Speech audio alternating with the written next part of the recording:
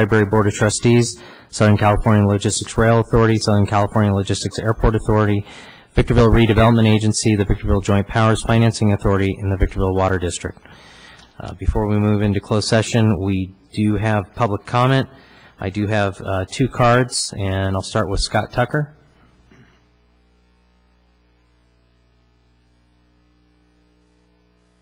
Thank you, Mayor and Councilman. I'm Scott Tucker, President of Commercial Aviation Services, AKA ComAv. Microphone up. microphone up. Uh, Yes, and I'm here, um, I'd like to uh, cede my time over to uh, Craig Garrick Jr., also with ComAv. That's, thank you. Craig Garrick Jr. Uh, Thank you very much. Uh, It's a pleasure to be here. We um, wanted to just uh, give a little bit of background on the proposal that is before you tonight on the uh, lease of Hangar 681 out at Southern California Logistics Airport. Um, There are two competing proposals as we have it. I want to give you a little background on ComAv quickly, what it is and and who we are and why we're doing what we're doing. In 1999, we formed a company here called Southern California Aviation. It, uh, when it came, had zero employees, no customers, and no aircraft here. Since then, we've now have uh, a little over 250 employees. We manage about 220 aircraft, and we have over 100 active customers that range between owners, operators, and uh, airlines themselves. Our customers uh, Southern California Aviation was designed to do light transitional maintenance. It was not designed to do any sort of heavy maintenance to assist the customers as it transitions from one owner to another. As part of those services, uh, there's a lot of other things that go along with it, which are probably uh, subject of a different discussion. But because of those strategic plays, in 2002, Pratt and Whitney, uh, through their United Tech or United Technologies through their Pratt and Whitney division, uh, bought an interest in Southern California Aviation, and today um, they own 51%, and AAC still owns 49% of that company. Our customers have requested repeatedly uh, over the last few years to expand our service base at Southern California Aviation to include heavy maintenance. Most of the aircraft we manage must go through a heavy maintenance repair cycle before they can be activated again.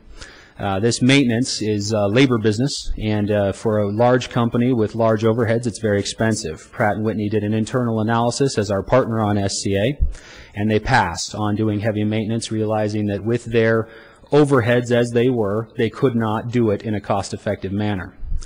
Uh, AAC, the company that is based here and founded by my father, and now myself and Scott are helping to run it, um, we can do heavy maintenance, and we can do it at a cost-effective rate that's competitive around the world. Uh, so we formed Commercial Aviation Services uh, to a, to go after this opportunity. So ComAv, as it stands now, is in need of a hangar. It needs a hangar to start this business, uh, to start doing heavy maintenance, and to accommodate some of our other needs. Our customers range between Cathay Pacific, Boeing, FedEx, um, all the major leasing companies, most banks, and nearly every airline. Uh, these airlines, in their in the course of their events, need need this type of, of heavy maintenance work. Uh, one of the cust- our primary customers, Federal Express, has a need for immediate 777 maintenance requirement uh, to do work on their brand new 777s. ComAv has bid on this contract. Um, in addition to that, one hangar is not enough, and ComAv is exploring right now with the Economic Development Authority, both federal, state, and local here in the county, to build a six wide-body hangar complex out at the airport um, and to, be, to begin this process.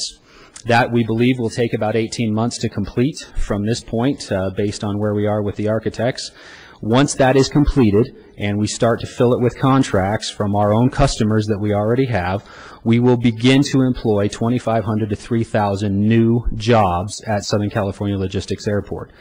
Our operations are currently one eight-hour shift. They will go to three eight-hour shifts a day to a 24-7 operation as the aircraft there will be revenue aircraft needing to get back in the skies to make money. What we need initially is we need a hangar to start. FedEx's 777 program begins January 1st, 2012. That's in a very few short months. We don't have it secured yet. We have bid on it competitively with others, but currently we're managing 16 contracts for FedEx across the AAC companies, and each one of those is with a different division. We're well vetted, we're well liked, and our business continues to grow with FedEx. We feel very confident we have a likelihood of attaining that one. In addition, uh, ComAv has a sublease drafted and ready to sign with FedEx to keep the Northrop Grumman FedEx missile defense program that was displaced by the lawsuit with Leading Edge here in Victorville. Currently, all that material is sitting behind our building in six 55-foot semi-trailers awaiting the decision that we have tonight to get this hangar uh, so that we can begin the process of reinstalling and getting them back to work. Uh, Should that not happen tonight, um, or in the course of events, uh, ComAv not be successful in securing the hangar, that program will leave to Kansas City, and that is a permanent decision. So we'd like to keep that one here. In addition, we still own half of Southern California Aviation. What we propose is that we put the lease in ComAv's name. Commercial Aviation Services does not need the hangar until the first of this next year. Um, But in the meantime, FedEx and SCA will have on and off again requirements for the hangar, the reason that, hence the reason that Pratt and Whitney, through its SCA division, or through its SCA partnership, has had the hangar in the past. We know that we can share equally among all these uh, interested parties in the hangar and bring about a situation where everyone can benefit from the one hangar that's there. We have, we own half of SCA, we have a vested interest to make sure that works. We own all of ComAv. we have a vested interest to make sure that works. We, our largest customer is FedEx and our partner, we have an interest to see that work. In addition to the hangar itself, we've already have bids to build a temporary hangar facility just next to the existing one on tarmac that already exists. We intend to do that at our own expense, at our own cost, to create an overflow while the hangar complex is being built, so that if there is a need where more than one party need the hangar at a time, we can fill it. Pratt and Whitney, the competitor for this lease, um, has no interest in ComAv, and uh, FedEx has decided to not do business with them on a sublease basis. So the choices that we have tonight are between ComAv and Pratt Whitney. One keeps the status quo. The other opens the, the door to keep FedEx's missile defense program here, which in the future will become very, very important. Allows ComAv to begin creating jobs, we believe 300 at least this year, uh, with the, the awarding of that 777 contract, and allows us to keep SCA's requirements met um, for the on-again, off-again needs they have it at, with the hangar. And that's it. Thank you. Thank you. Uh, The council has received via email as well as has been placed before you on the dais an email from Aaron Korn. Um, I'm not going to have this read into the record, but it is provided to the entire council, which makes it public, so you all have that for your uh, perusal and discretion. This time, we'll move into closed session, seeing no other public comment. Uh, I'll have our city attorney address our closed session items. Thank you, Mayor McEachron. We have um, 10 closed session items. However, staff is requesting that we pull item eight. We do not need to go in closed session on item number eight. Uh, Item number two is real property negotiations pursuant to Government Code 54956.8. Items three through seven pertain to existing litigation, and the parties to that litigation, as well as the case numbers, are all set forth on the agenda. Item number nine is a uh, real estate negotiations pursuant to Government Code 54956.8. Again, the parties pertaining to the, and the properties affected are listed on the agenda. Item 10 is also existing litigation uh, in the matter of Regional Center, the USCIS case file. And lastly, we have one pursuant to Government Code 54957B pertaining to public employment, city manager. Uh, To the extent there is reportable action, we will report any of that uh, reportable action either at the conclusion of the closed session or immediately prior to the commencement of the 7 o'clock meeting. All right, we'll now move into closed session. And the city council sitting as the library board of trustees, Southern California Logistics Rail Authority, Southern California Logistics Airport Authority, Victorville Redevelopment Agency, the Victorville Joint Powers Financing Authority, and the Victorville Water District. Our first item will have closed session announcements, and our city attorney, Mr. de Bortnowsky, will announce those.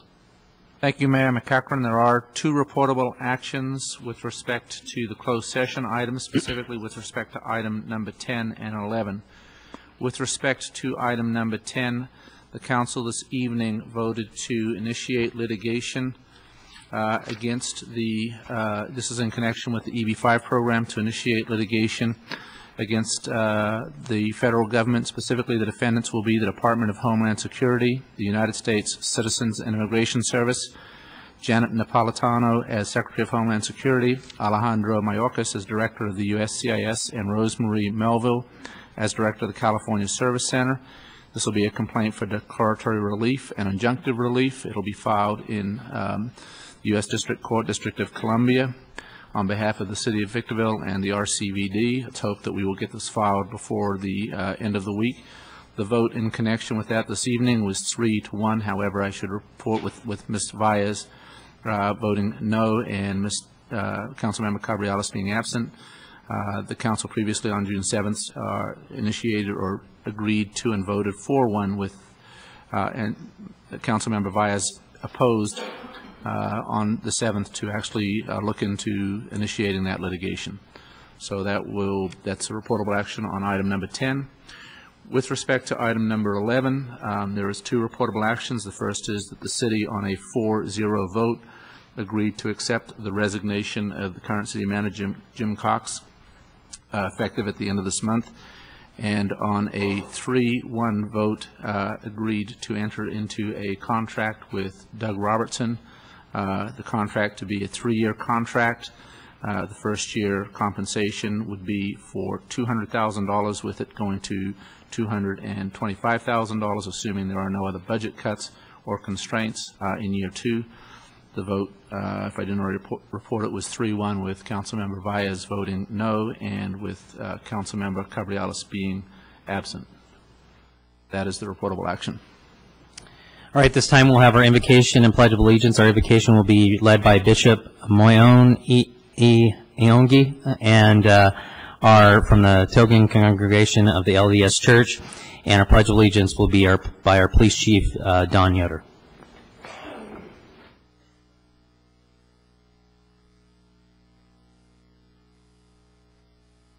Our most kindly Heavenly Father, we come before Thee at this time for the privilege of this meeting.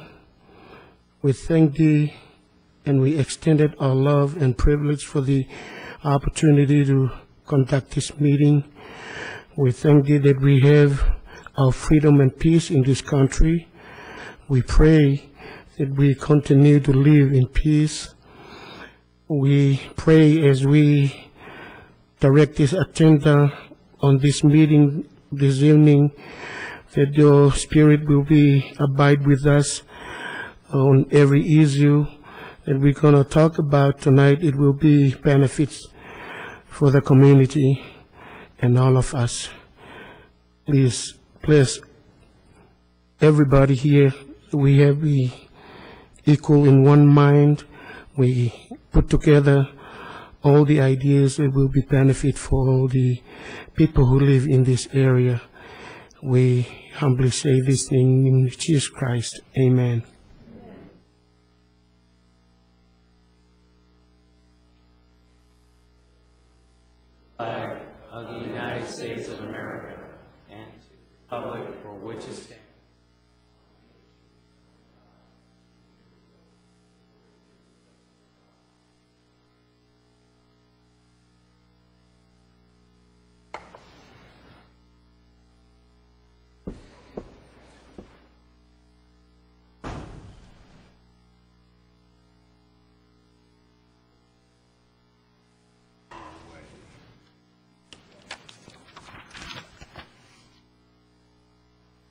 Have a few presentations tonight, and we have a military banner certificate to the family of Zach Lara, United States Marine, graduated from Victor Valley High School in 2009, and here to accept on his behalf is his mom, Rachel. If I could have Rachel come forward.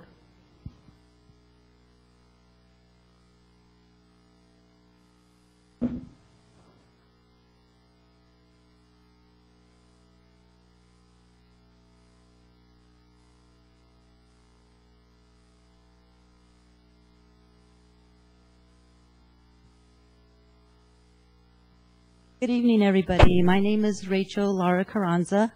I'm Zach's mother, and um, I have something I'd like to read to you guys. Um, hopefully, make your evening.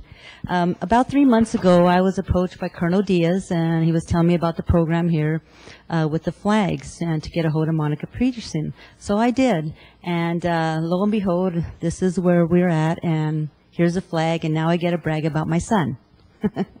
when I was 29 years old and uh, I was told I was going to have another child. I didn't expect it, but I prayed, okay, God, let it be a little boy.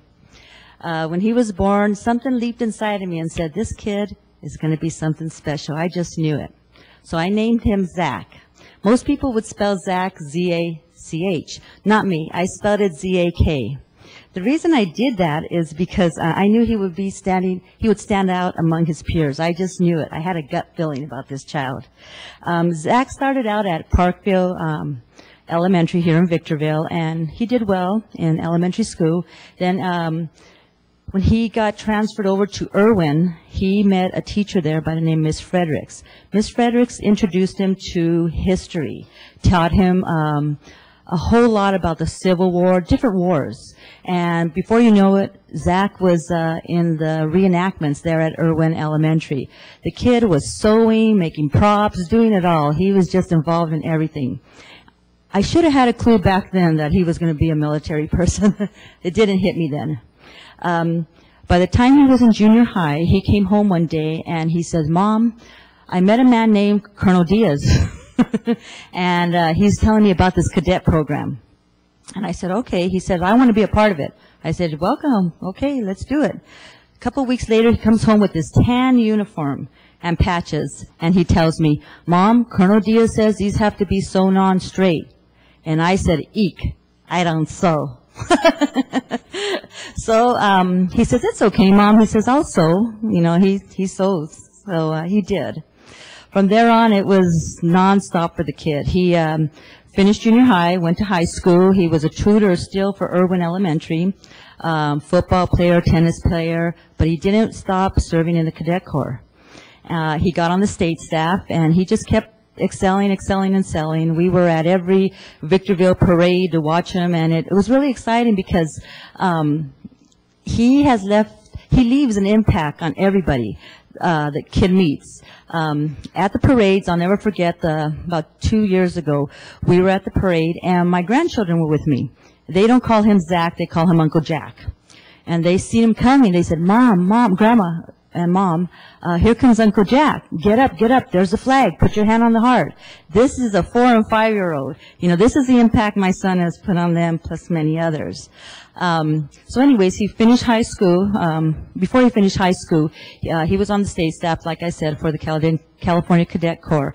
He um, became a general, um, I'm sorry, colonel, colonel for the Cali- California Cadet Corps. Now, I don't know if you guys know this, but in the city of Victorville, the Victorville High School, I think, has only had two or three of them, and Zach has been one of them. Uh, this year, I've had the privilege to um, go and represent Zach at the 100th anniversary of the Cadet Corps. And um, you know what? He made me so proud.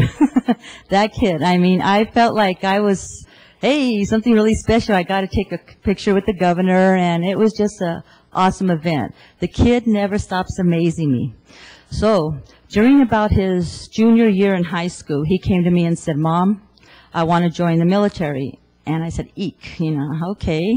So, you know, I didn't put too much into it. He kept checking out different branches. And he came home and he says, I know which one. I'm going to be a Marine. And I- my heart sank. Um, because he was only 17 years old, I had to go and sign for him.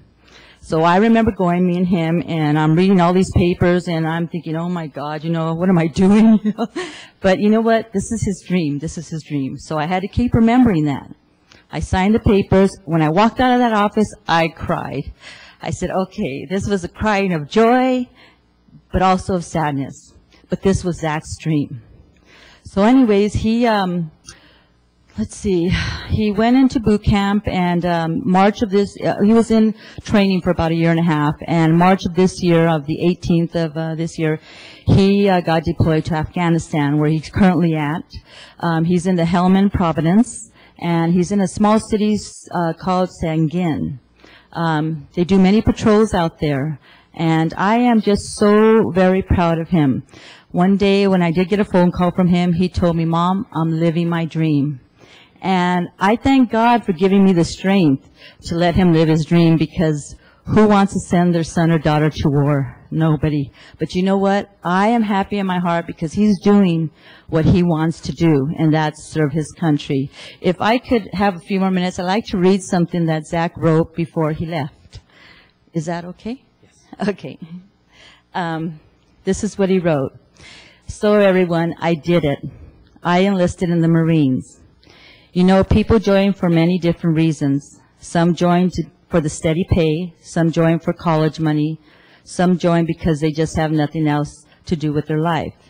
Me, I joined because I felt it was my patriotic duty to serve my country, and that's where I want to begin my life. Society today, it's all talk. Anyone at any moment can say what needs to be done and how this and how they wish we could do something about it. But most won't do anything. So many kids today can talk the talk but not walk the walk. They are just sit back, they are just backroom chattermen who will never understand what it means. Well, I believe JFK sums it up the best. Ask not what your country can do for you. Ask what you can do for your country. I signed in as an 0311 infantry. Why? Not because I'm a com- complete dummy and I scored low on the ASVAB, but because I am very smart and I scored high on the ASVAB. But because it was where I felt I could truly make a difference and be on the ground where the action is and be the guy when national policy needs to be execute, executed, executed. no offense to any of the military people, but I don't want to be in the rear with the gear, per se. And you know, I, hung, I have hung around with a lot of military people from all services and all kinds of military jobs. But when I talk to guys from the infantry, it's just a whole different kind of brotherhood. A brotherhood I want to be a part of. You know, one of the things I hate the most is when everybody comes up to me telling me, you know, what is infantry going to offer you after the military? Nothing, Zach. You know, well, it's my life. Let me worry about that stuff. I'll worry about that and cross that bridge when it comes. I live for today. I try not to think, think too far in advance, just enough to get me by. Then you get the people who um, call you friends who are totally anti-American, anti-military, and they annoy me. Freedom has a taste the free will never know. They know uh, they don't know and will never understand the vast amount of blood and sacrifice that has been spilled in order to preserve freedom. I feel proud to say in time I'm going to take part in an undertaking that this country deems important and where this and where there is willing where they are willing to send our military into harm's way and to accomplish the mission. I hate the blame American first crowd who sit around all day blaming Americans for every wrong in the world before going to sleep at night under the blanket of the freedom provide, provided by our military. With every person, it's different. Their reasons for joining are often complex and deep personal and deep personal as mine was. Um, sometimes people ask me, so Zach, why did you join the Marines? Sometimes I can't answer or give a clear um, or give a clear answer, but then sometimes my, re- my reply is because someone has to preserve freedom.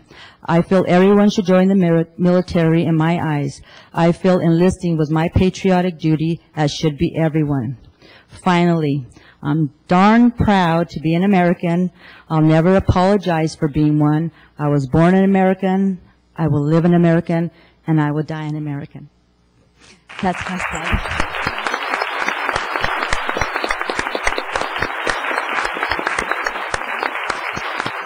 I just want to say to my son, if he's watching now, that I love him and I'm so proud of him. And I want to thank you guys for the program because uh, this is really what it's all about. Thank you.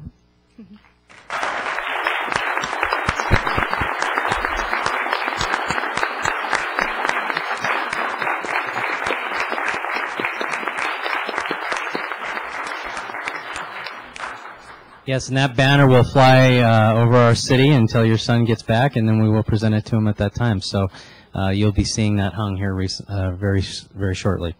All right, at this time we'll have our uh, uh, Public Works Day uh, essay contest winners, and Ro Ratliff, she's going to come up and help me present those.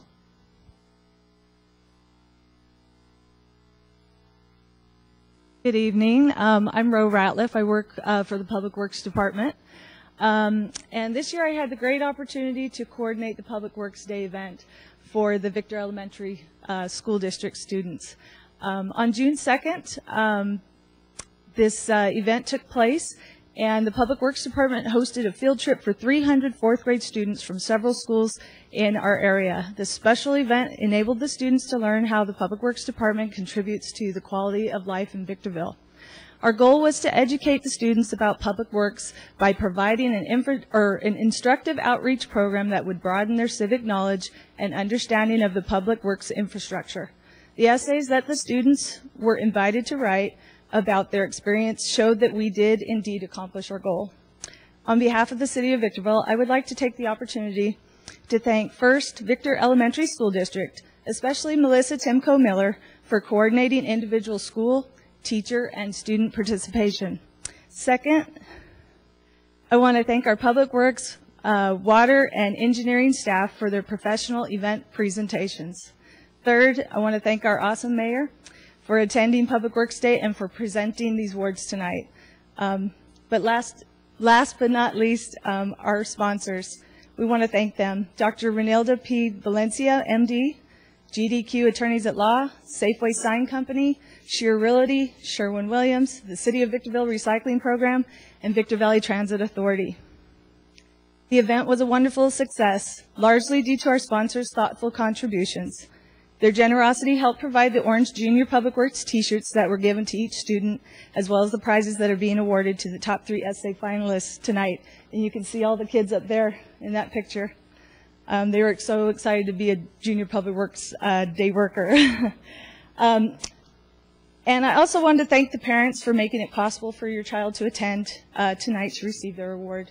It means so much to us that they're here. And uh, at this time, we'd like to present the awards to them. Uh, they are Public Works Day 2011 Essay Contest winners. Uh, students, when your names are called, please come up and we'll award you. Um, congratulations to our first place winner, receiving a $100 Barnes & Noble gift card. Uh, this student wrote an outstanding essay on the City of Victorville's proactive approach toward graffiti abatement from Delray School, Julissa Perez.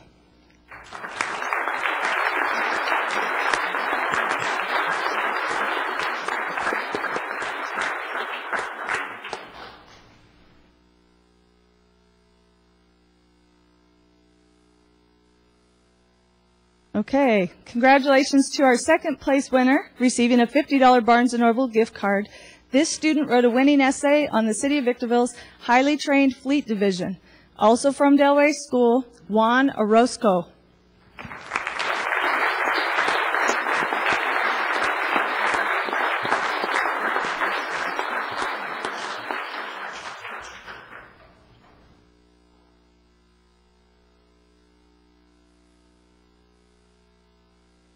Okay, and congratulations to our third place winner receiving a $25 Barnes & Noble gift card. This student wrote a creative and fun essay on how the City of Victorville Traffic Signal Division works to keep the public safe. From Challenger School, Ashley Smith.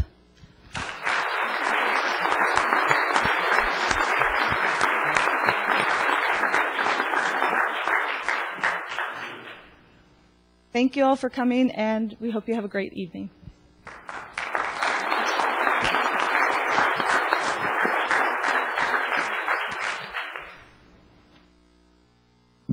Forgot to thank that guy that was up there in the scaffolding taking that picture. He's probably 100 feet up.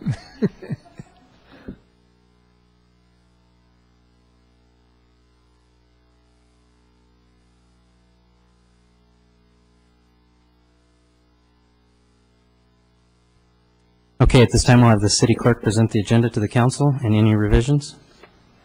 Uh, The only revision that we have is on items number 21 and 27. There is additional information on the dais that has been provided by the staff regarding delinquency charges. That I'll present the agenda. The City Council of the City of Victorville welcomes the public's participation in tonight's meeting. It is requested that all present please silence cell phones, pagers, and other electronic devices, and that personal conversations be kept to a minimum during the conduct of the meeting. Persons who wish to address the council on a specific item which appears on the agenda are requested to complete one of the white speaker cards that have been placed on the agenda table in the council chambers lobby and give it to the city clerk for the record prior to consideration of the item. The mayor will call upon each individual who has submitted a speaker card when the item comes up for discussion by the city council. The public comment period is the time and place for the general public to address the city council on any item within their jurisdiction that is not on the agenda. It is requested that a speaker card also be submitted to the city clerk for anyone who wishes to address the city council during the public comment period. Pursuant to Government Code Section 54954.3, state law prohibits the council from addressing any issue not previously included on the agenda. The council may receive testimony and set the matter to a subsequent meeting. Comments are to be limited to three minutes per speaker or less, as deemed necessary by the mayor, depending upon the number of individuals desiring to speak. All communications are to be addressed directly to the mayor. Individual comments to council members, staff, or members of the audience are not permitted. Individuals who fail to adhere to these guidelines may be asked to yield the floor. Any individual or group who engages in disruptive conduct during the meeting will be removed from the chambers by order of the mayor. Disruptive conduct includes, but is not limited to, addressing the council without being recognized, not addressing the subject before the council, repetitiously addressing the same subject, failing to relinquish the podium when requested to do so, verbal outbursts or comments from the audience. Thank you for your cooperation and adherence to these rules. All documents to be considered for approval at this meeting are before the council. That's all I have, Mayor McEachron. All right, thank you. We'll go ahead and move into public comments. Uh, I do have several cards. We'll start off with Norm Miller.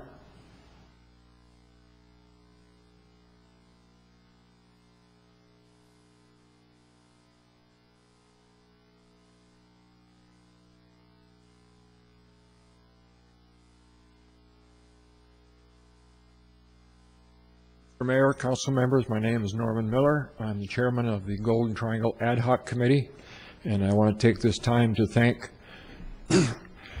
uh, everyone from the city manager, I hate to say down, through staff, but anybody that had anything to do with getting eucalyptus put through.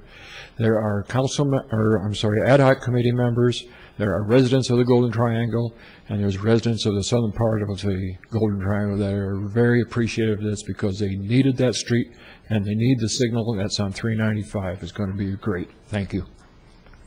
Thank you. Mr. Miller, uh, Dorothy Miller?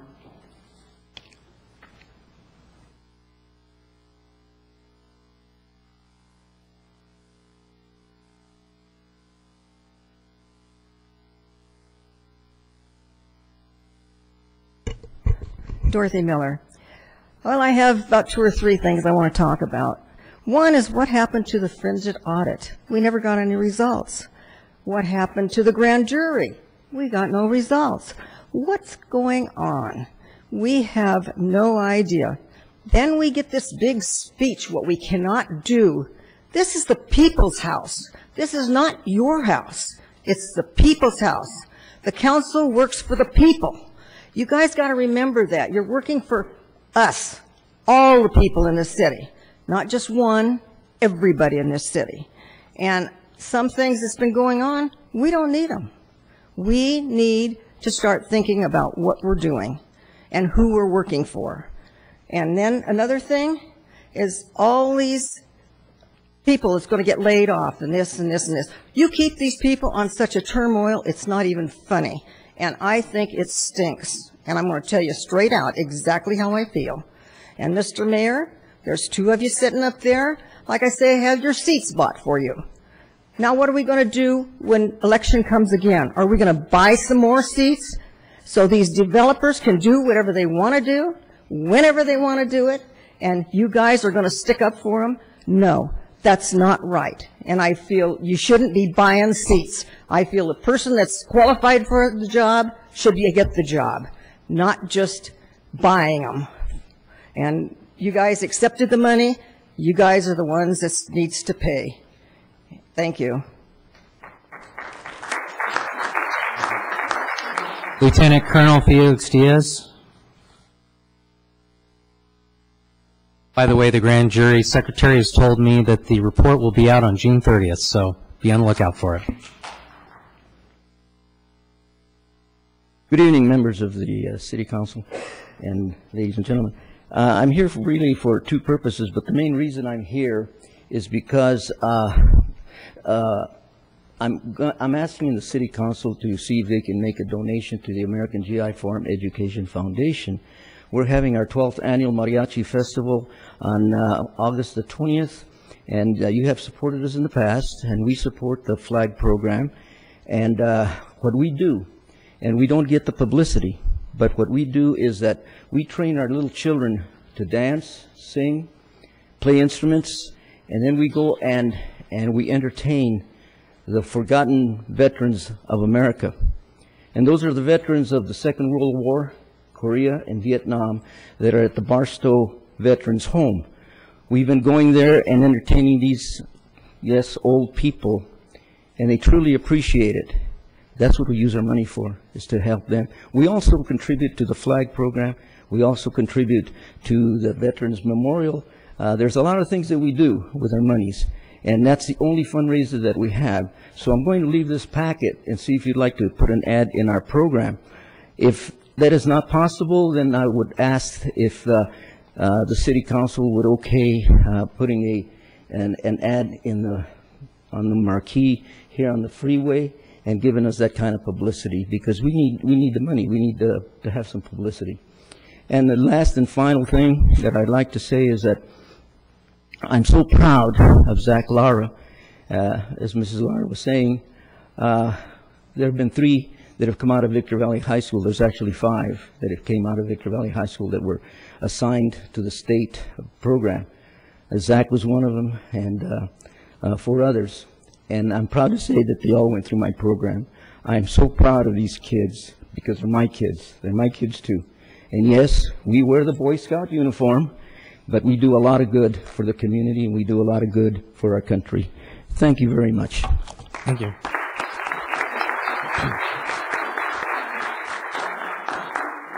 April Pinkston? Uh, hello, um, Mayor and City Council. I, my name is April Pinkston, and I live on Sitting Bull in Victorville. And on May 17th, I came in and addressed the issue of the City of Victorville um, getting the same music ordinance as Hesperia, and I was just following up on that because um, on June 10th, there was quite a few music calls. Now, there were only 25. As a former dispatcher, when I call dispatch, they give me a lot of information, and they told me that there were 25 music calls that evening. Now, that doesn't sound like an awful lot for the city it, this size. However, it took three hours for the deputies to respond, and it's very, very frustrating. And I would like the city once again to adopt that the city is the victim as opposed to um, me, because I don't want to have to fear retaliation from my neighbors, and I want to be able to enjoy my property and sitting in my yard without um, listening to someone else's choice in music. Now, that being said, there's a couple other issues that I would like to address. Um, I will plead ignorance about what's going on in the city of Victorville because I am a new resident of Victorville.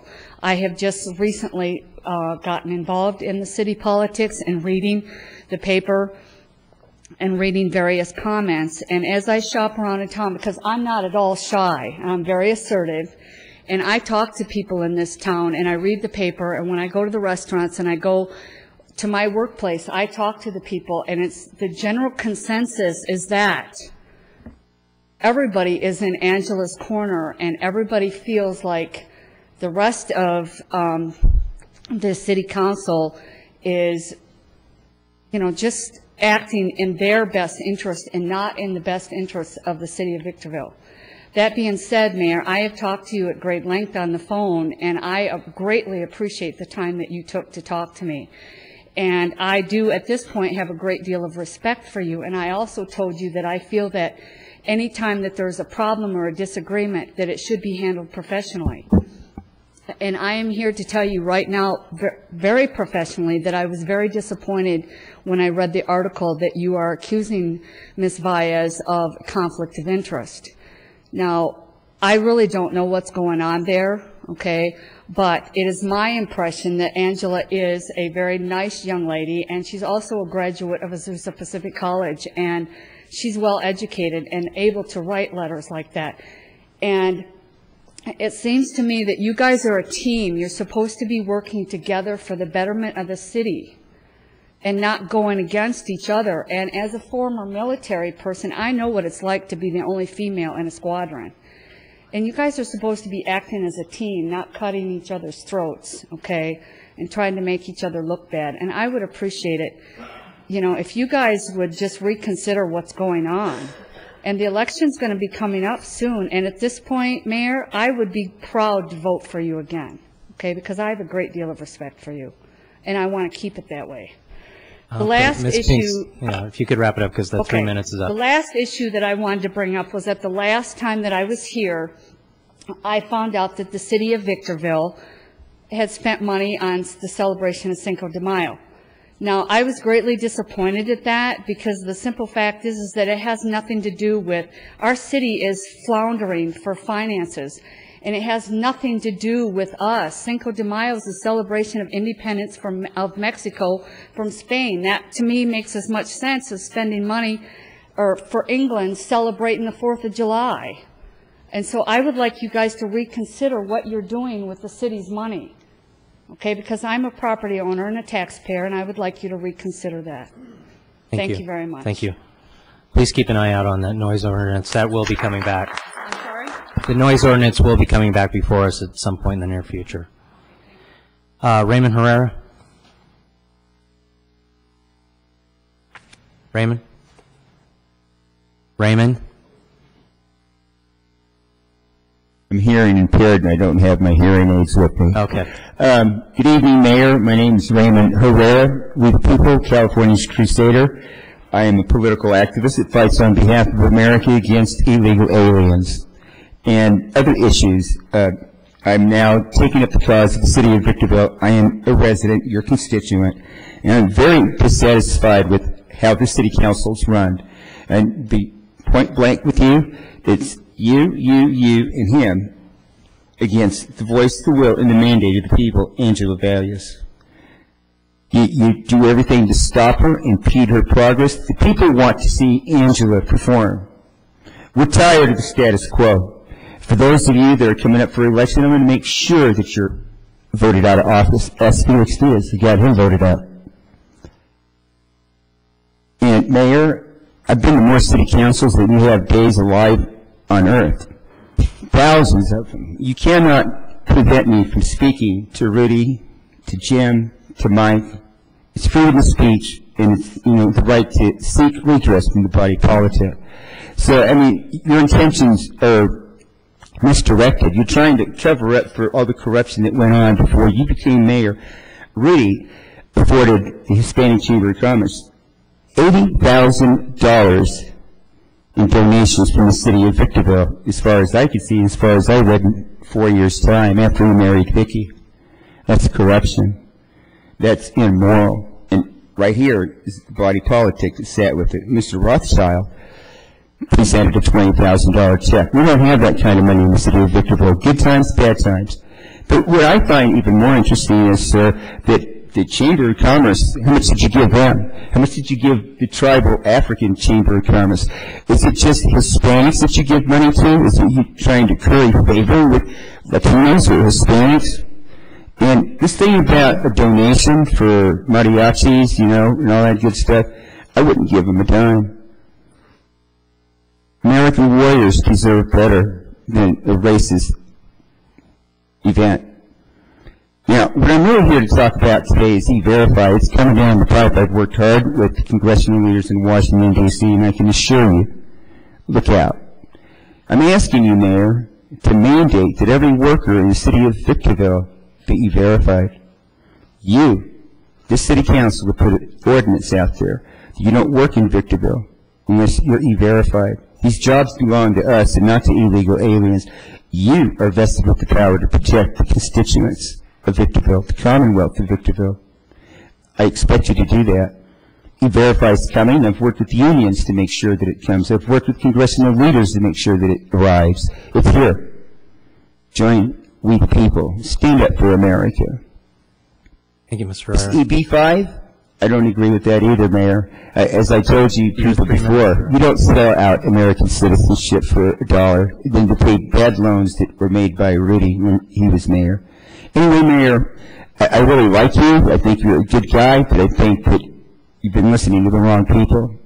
And Angela, God bless you for everything that you've done for the people of Victorville, and we look forward to having you do a lot more. God bless, Mayor. God bless. Thank you. Angela. Robin Hvidston. Um, I would just like to briefly talk about three things. Number one, uh, the item 10 that was talked about, I believe uh, suing Homeland Security, um, from what I understood in the presentation, um, related to the E5 issue. Every person I've talked to is against, was against the E B5 visa from the get-go. And I believe the one dissenting vote most likely represents the will of the people of Victorville. And then secondly, I would just like to also camp off on the investigation that's been going on with the Hispanic Chamber of Commerce. I've been following it closely in the newspaper, and I appreciate so much the newspaper coverage. And to me, it looks like it's just about accountability. So I hope that it goes forward, and I look forward to reading more about it in the newspaper. And then third, uh, just to camp off on what Mr. Herrera said on E-Verify, that's a Department of Homeland Security program where employers can call in to uh, determine the legal status of a new hire. And I just brought an article um, recently. The Supreme Court ruled in the favor of the state of Arizona for their law, their state law demanding E-Verify. Uh, we feel like that's a landmark decision that's uh, uh, at the local level. We also have had many cities in Southern California, Hemet for one, um, Temecula, that have enacted uh, municipal E-Verify ordinances. And we'd like for this city to look at doing that. Uh, One issue you have in Victorville is the day labor site at Home Depot. Mr. Herrera gets many complaints from citizens about the day laborers at the Home Depot. Uh, Just last weekend, a young man with his fiancee uh, contacted Mr. Herrera because he said his fiancee uh, was approached in um, a very untoward manner by the day laborers at Home Depot, and he asked Mr. Herrera to do something. Uh, We feel like if you had an E-Verify ordinance or different types of ordinances, you could address issues like this in Victorville. Thank you. Thank you. Rebecca Rimbaugh.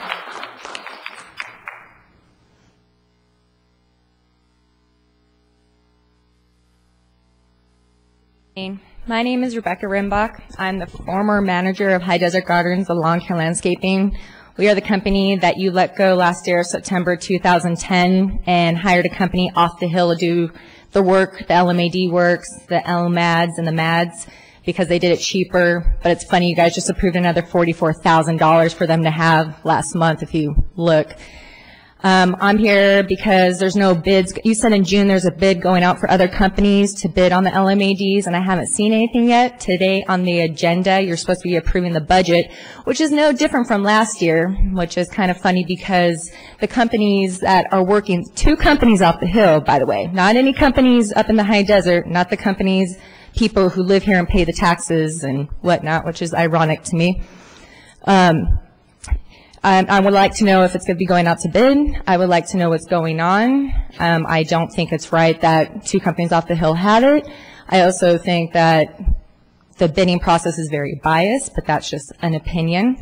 And I am here to pretty much let you know that I have statements from other companies, a company that's actually went out of business because you pretty much got rid of us in nine days and hired a company off the hill. But once again, that's what it is. I would like to keep businesses up here in Victorville. Once again, it starts in Victorville. I don't understand why we're not keeping businesses up here. I, two businesses off the hill that you're paying more than $200,000 to do your assessments, and we can do it. One company where I have five families who own homes in Victorville, own them and pay taxes that pay your paycheck, and I don't understand why we're still doing that, where we can do it for the same price. Once again, it looks like they're doing it for cheaper, but you're approving more and more for each time. So I'm just here, I'd like to know when the bid process is going out because I was told if you look back in September 2010, that's why you got rid of us, so you can put it on contract. And I'd like to know when that's going to be doing it so my company has a fair chance to do that. And thank you. And Angela, I'd like to thank you for everything you've done and listening to the people. And you've done a great job. Thank you for your time. Jonathan Vanderloop. Jonathan Vanderloop.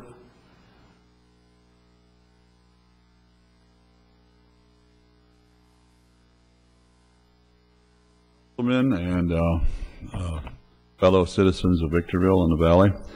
Uh, I'm here with the uh, Youth Activities Association of Victorville, and I'm speaking in the public comment here because uh, we've asked people who support the uh, continued operation of the West Wind Sports uh, Center to wear white tonight, um, even if they don't speak. So just about everybody that's here in white is here for the West Winds, which is a much later item, and hopefully they can stick around uh, for that item.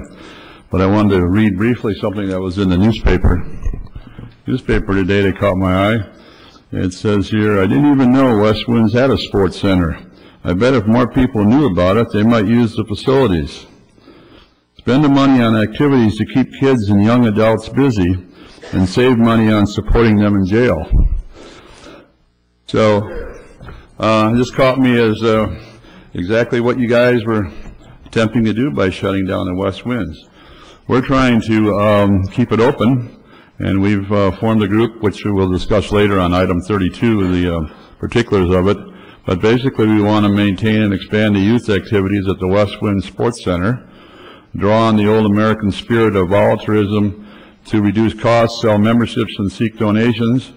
And we seek the support of uh, volunteer time, donations from civic organizations, foundations, businesses, clubs, churches, individuals, etc., to make the West Winds operation uh, revenue neutral to the city of Victorville. So I understand that uh, you're doing the same thing with the golf course, but you have six years that you hope to make it revenue neutral, and you've uh, lost over a million dollars last year, which would keep the West Winds open for a couple lifetimes. Uh, So um, I would like to uh, strongly urge you to um, keep the West Winds open, and and uh, we will uh, discuss this when the item 32 comes up. Thank you.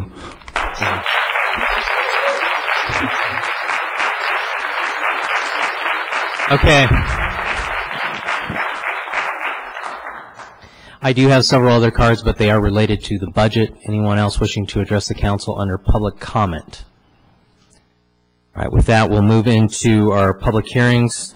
Um, And I'm going to take uh, the budget for all agencies at the same time, although we may choose to vote on them separately. I would like a presentation from staff on the budget for the Library Board of Trustees, Southern California Logistics Airport Authority, the Redevelopment Agency, and Victorville Water District, and the City of Victorville.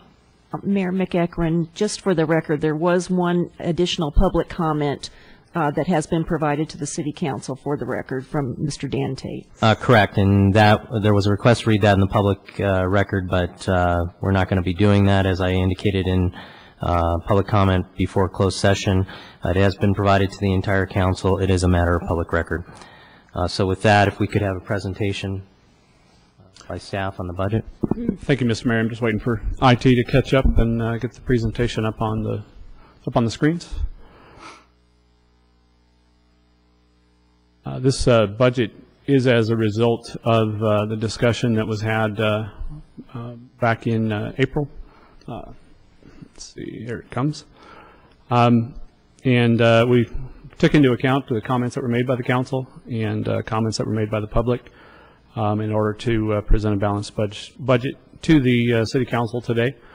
Um, I do need to thank hundreds of people, really. I can't name all of them, but just uh, as a matter of uh, information, um, the way our budget is put together, uh, each department head tasks his or her um, department managers and staff to put together a budget based on the priorities of the council and based on the estimated uh, expenditure, or excuse me, estimated revenues that we uh, are expecting for next year.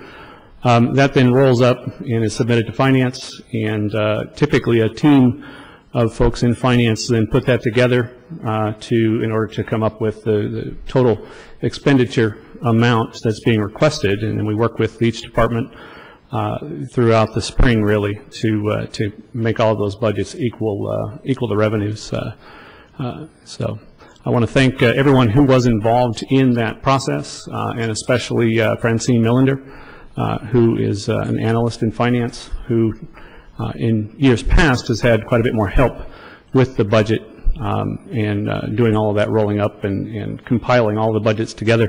Um, This year, because we're implementing the Munis program, uh, The management uh, specialist who normally assists her with that was busy with that, so they were doing double duty, both of them, uh, in order to, uh, to get both the budget together and also get the the Munis project ready for, for go live here next month.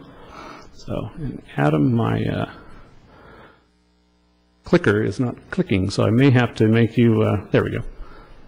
Um, As has been the case for the past several years, the economy is, is still our biggest challenge, uh, trying to balance those revenues, uh, the expenditures with the revenues. When uh, revenues really are, are remaining flat, we're kind of happy that they're remaining somewhat flat because uh, they had been uh, in a much steeper downward trend. Um, And we have been doing our best to maintain service levels with that reduced workforce that we've got. Um, On uh, April 19th, staff presented best and worst case scenarios uh, in order to bridge what was then projected to be an $8.4 million budget gap uh, in the general fund. That is our biggest area of concern. Um, Most of the other budgets uh, are are doing fine. Um, They uh, have had some reductions based on revenues, but it's a little easier to make those reductions and and and make those expenditures match the revenues. Um, What was proposed, or what was uh, requested from all departments was an 8% cut, that included police and fire uh, as a potential, as well as 100% use of our reserves. Uh, The council was not amenable to cutting the police and fire contracts, Uh, so we uh, made the change and went with the other option, which was a 29%, up to a 29% cut uh, to the remaining departments that are not police and fire. Um, We also took into account uh, your direction to go ahead and use the remainder of the reserves uh, available to us in order to try to uh, preserve as much service as we could. Um, We are uh, presenting this budget based on those priorities that you discussed at that meeting. I do want to thank the council, actually. In in years past, we haven't had nearly as much discussion. Uh, We're hopeful to have more in the future, um, but we haven't had nearly as much discussion as we had back in April, so we appreciate that input. Um, We have preserved those public service levels in police and fire. Um, We are promoting economic growth where possible. We're trying to foster a quality of life with the revenues that we have. And per your direction, we're trying to conserve jobs and those levels of service uh, as much as is possible. Um, The police contract remains roughly the same. Um, We actually, upon using the ability uh, or the direction to use that, uh, that reserve, uh, this budget before you tonight actually funds two of the vacant positions uh, that appeared uh, in last year's budget. Um, At this point, we're not recommending direction to fill them, although the money is budgeted to do so. I'll get into that just a little bit more uh, in a uh, proceeding slide. Um, The city fire uh, contract remains uh, effectively the same. Uh, Or co- other core levels in public safety remain the same as well. Code enforcement, that was a big issue for the city council to maintain, as well as uh, animal control and at least the core levels of street sweeping. There is some minor trimming there, however, in street sweeping. Um, Always an interesting slide to see our, our history of the percentage of police and fire to the, to the total general fund. As you can see, this reflects the council's uh, direction to preserve that public safety. Um, And to a certain degree, that does come at the expense of the remaining general fund departments, and that's a conscious decision of the council that uh, staff supports and is willing to continue uh, preserving those, uh, those important public safety items as directed. Um, I mentioned that there was two, uh, we had actually put in the budget enough funding for two public safety positions, two uh, sheriff's deputy positions. Um, At this point, uh, right after doing that, actually, and right after getting the final budget uh, sort of put together, um, there was an article in the newspaper that indicated uh, some of the ongoing negotiations with the county safety contracts with their unions, and it does cause us some concern Uh, Although the uh, the uh, firefighters have accepted the budget concessions that were proposed by the CAO, uh, there hasn't been an agreement reached with the Sheriff's Department yet, and that does cause us some concern, because if, in fact, they don't come to an agreement, not only would that affect the uh, the sheriff's contract, but also because of the Me Too clause, or Me Too agreement, as part of the fire contract, both the sheriff's contract and the fire contract would go up, because uh, it's our understanding, based on the reports in the newspaper, that uh, the uh, firefighters' acceptance of those budget concessions is contingent upon all the bargaining units for the county accepting concessions as well, and if they don't, then, then they would, uh, they would undo that, that portion of their contract. So um, it's something we would prefer to, to wait and see on as we get a little deeper into the fiscal year. Uh, But as I said, it is a budgeted item, and should the council wish to go ahead and fill those positions, the money is in the budget in order to do so. Uh, And uh, as I recall from from uh, a few months ago, those positions could be filled within a matter of weeks. Uh, Economic growth, uh, we'd like to have uh, more dollars available, but because of uh, property tax declines, we simply don't. Uh, We are still uh, funding on the city side, $6 million towards the La Mesa Nisqualli interchange. SANBAG will oversee the project as you entered into a contract with them, or directed us to enter into a contract with them last month. Uh, But we do still have some right-of-way ac- uh, acquisitions and some other uh, project work that needs to be done on the city side of that. Uh, We are budgeting just under a million dollars for the uh, wastewater treatment facility uh, in order to complete some sludge lines and some emergency bypass lines. Programs that were preserved that are non-general fund items are are listed there. I don't want to read every slide to you. We are doing our best to maintain those important safety items that protect our our citizens. Uh, Other programs that were preserved that are in the general fund, uh, the the library, uh, staffing has been preserved. Um, There are a few program reductions. Uh, The library actually, although it is listed in the general fund, the library funding actually comes from uh, a specific call-out in state law that gives them a small portion of property tax. Uh, For this year's budget, the library is relying 100% on that small portion of property tax, as well as uh, some uh, movie rental programs and and some other programs that they offer that do bring in a little bit of revenue, but there is no reliance on the general fund for the library this year. Uh, Graffiti removal service remains the same. Uh, So the the girl who won the award for for writing the essay about our graffiti removal service is probably happy tonight to hear them. Uh, Street sweeping, uh, we have uh, had to reduce that just a little bit for residential street sweeping, but other uh, major arterials and things remains unchanged. Uh, There was a threat, uh, based on the potential for the worst-case scenario budget, that we might have to close seven parks. We have averted that. Those parks will remain open. Um, And uh, there are some service level reductions in, in our Parks and Recreation Division uh, as a result of some of the budget cuts, and we'll get into that a little bit later as well. Code enforcement, current service levels are maintained uh, as directed by the City Council. Um, We have had to reduce, I do want to make it clear to the council and to the public that no one on city staff wants to close any of these facilities. Uh, We make these recommendations based on trying to get to recreational opportunities that are revenue neutral uh, and uh, still provide uh, as much recreation as we can based on, based on our budget. Um, This budget, uh, as proposed, uh, includes the closure of the Pebble Pebble Beach racquetball facility, West Winds Activity Center, West Winds Sports Center, and the West Winds Golf Course, um, and also the potential closure of the Pebble Beach Pool following the summer swim season. Uh, We want to evaluate that as we get a little deeper into the next fiscal year, but not wait until next budget in order to make a proposal along those lines. Um, Because if we can keep it open, we'll need to start recruiting for lifeguards and and swim coaches and things uh, in in early spring. So We would bring that back to you, assuming this budget passes tonight, sometime around uh, the mid-year point. Um, Other uh, reductions are are listed here. Um, Again, we've got reduced service levels uh, throughout pretty much all of City Hall, uh, all counters, uh, due to staffing reductions that have occurred throughout this fiscal year and will occur as a result of this budget. Um, Looking at some of the uh, the overall numbers for the city, um, some dramatic reductions in the budget based on revenues. Uh, The total city budget is just over $200 million as proposed, uh, down over $100 million from last year's budget. Um, Current revenues uh, are down approximately $46 million, uh, and then uh, the transfers in and fund balance reductions are down as well.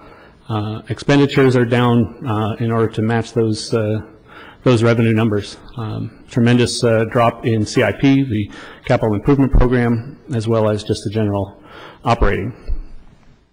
Budget comparisons, I call this the mountain slide. Pretty dramatic change in our budget over the last six fiscal years, um, uh, going from a height in '09 of $568 million down to uh, $130 million uh, between the general fund and the CIP, uh, as well as uh, all funds.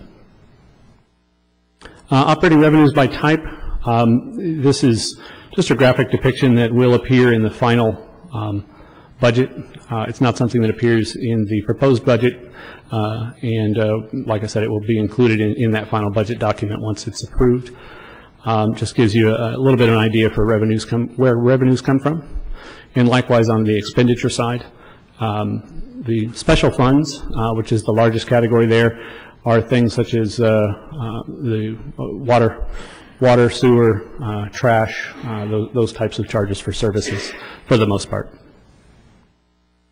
Uh, The CIP, as I mentioned earlier, is down about $52 million. Uh, We do have uh, a little bit of activity there that's, that is listed. Um, I went over most of the major items uh, earlier in the presentation. Uh, Our component units, the Water District is down $42 million. That is in large part due to the wastewater facility being basically completed. Um, RDA is down significantly, uh, although that is more of an accounting issue than than an actual revenue issue. Um, uh, And uh, as I mentioned, uh, SCLA is down, as well as the library has been reduced down to their actual funding level.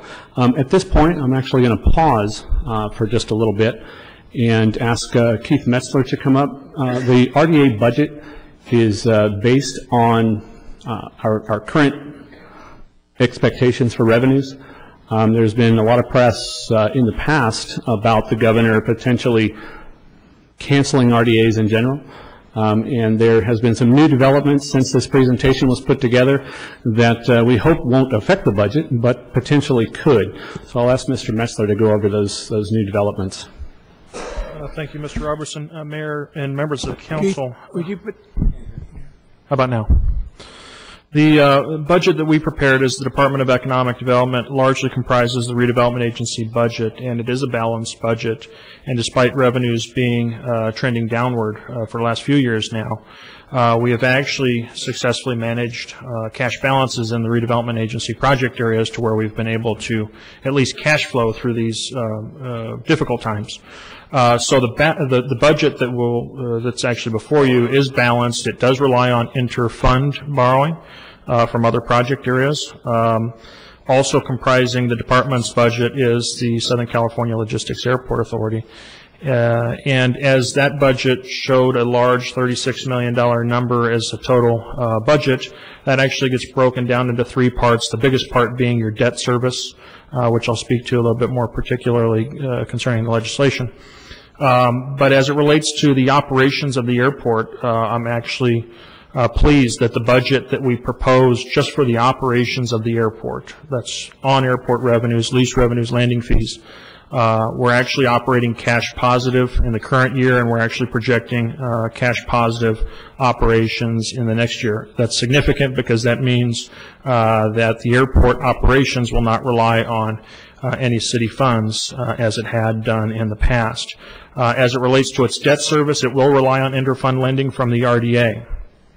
The disclosure that I have to make is that the budget has been prepared absent what happened last week uh, in the legislature. Last week, the uh, legislature passed a budget uh, that had trailer bills.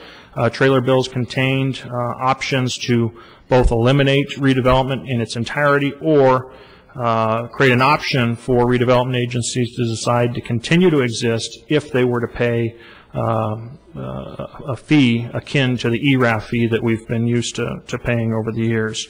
Uh, The legislative bills, even though, uh, backing up, even though the governor vetoed the budget, uh, the bills, the trailer bills uh, did not get vetoed with that action. Uh, So they still exist, as I understand, they just haven't been passed to the governor uh, for signature, but they have been approved both in the Senate and Assembly. Uh, Those bills are AB X 126, that's the bill that just strictly eliminates the redevelopment agencies, and ABX 127, and that's the bill that actually gives the option for RDAs to continue to exist. Uh, But there's the penalty over the next two fiscal years. Um, Next year alone, the penalty to the RDA would be about $19.1 million, uh, and the 1213 projection is about $4.5 million. Um, if we chose to continue to exist and subject ourselves to that payment, and we actually made that payment, um, it is very likely that you would be forced to default on some of your debt service obligations. That's how dramatic uh, these bills are. Um, While they haven't been signed by the governor, uh, we've certainly urged uh, that the Assembly withdraw. They're actually uh, sending those bills to, to the governor and consider reform as opposed to elimination, which has been our position as a redevelopment agency. Um, So with that, I wanted to make that disclosure because if, in fact, uh, those two bills do get approved, uh, it's going to really force us to retool uh, the budget that's before you tonight. Thank you, Mr. Metzler. Um, Moving on now, uh, looking more closely at the general fund specifically, uh, current revenues are $44 million estimated. Uh, That's down uh, just over a million dollars. Uh, And we are using about $1.2 million in, in reserves uh, as directed by this council uh, back in April.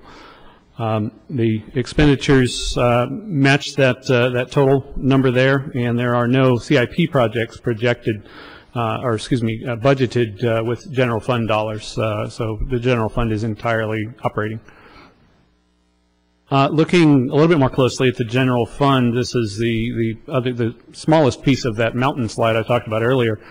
And as you see, at, the height of our uh, budget, um, we were budgeting just over $66 million, and this year we are under $47 million. So we've had uh, nearly a one-third reduction in, in general fund budgeting uh, over the last four budget years, including this upcoming year, and that has occurred with uh, no cuts to uh, police and fire contracts. Um, The reductions to the operating budgets uh, uh, for each department is is up to 29%. Uh, As I mentioned, some of the areas that were preserved, such as code enforcement, uh, graffiti abatement and things, they didn't have cuts. Um, And that is on top of a 10% cut uh, last year and a 32% cut uh, in 0910. Um, Again, just to go through some of the things that we eliminated back in 0910 and they continue today, uh, is uh, any subscriptions, publications, memberships, uh, travel, training, education, recruitment expense, uh, professional services, et cetera. Although some budgets have a very small amount, um, for the most part, those were cut nearly 100%. Overtime is also very limited uh, on an only as-needed basis.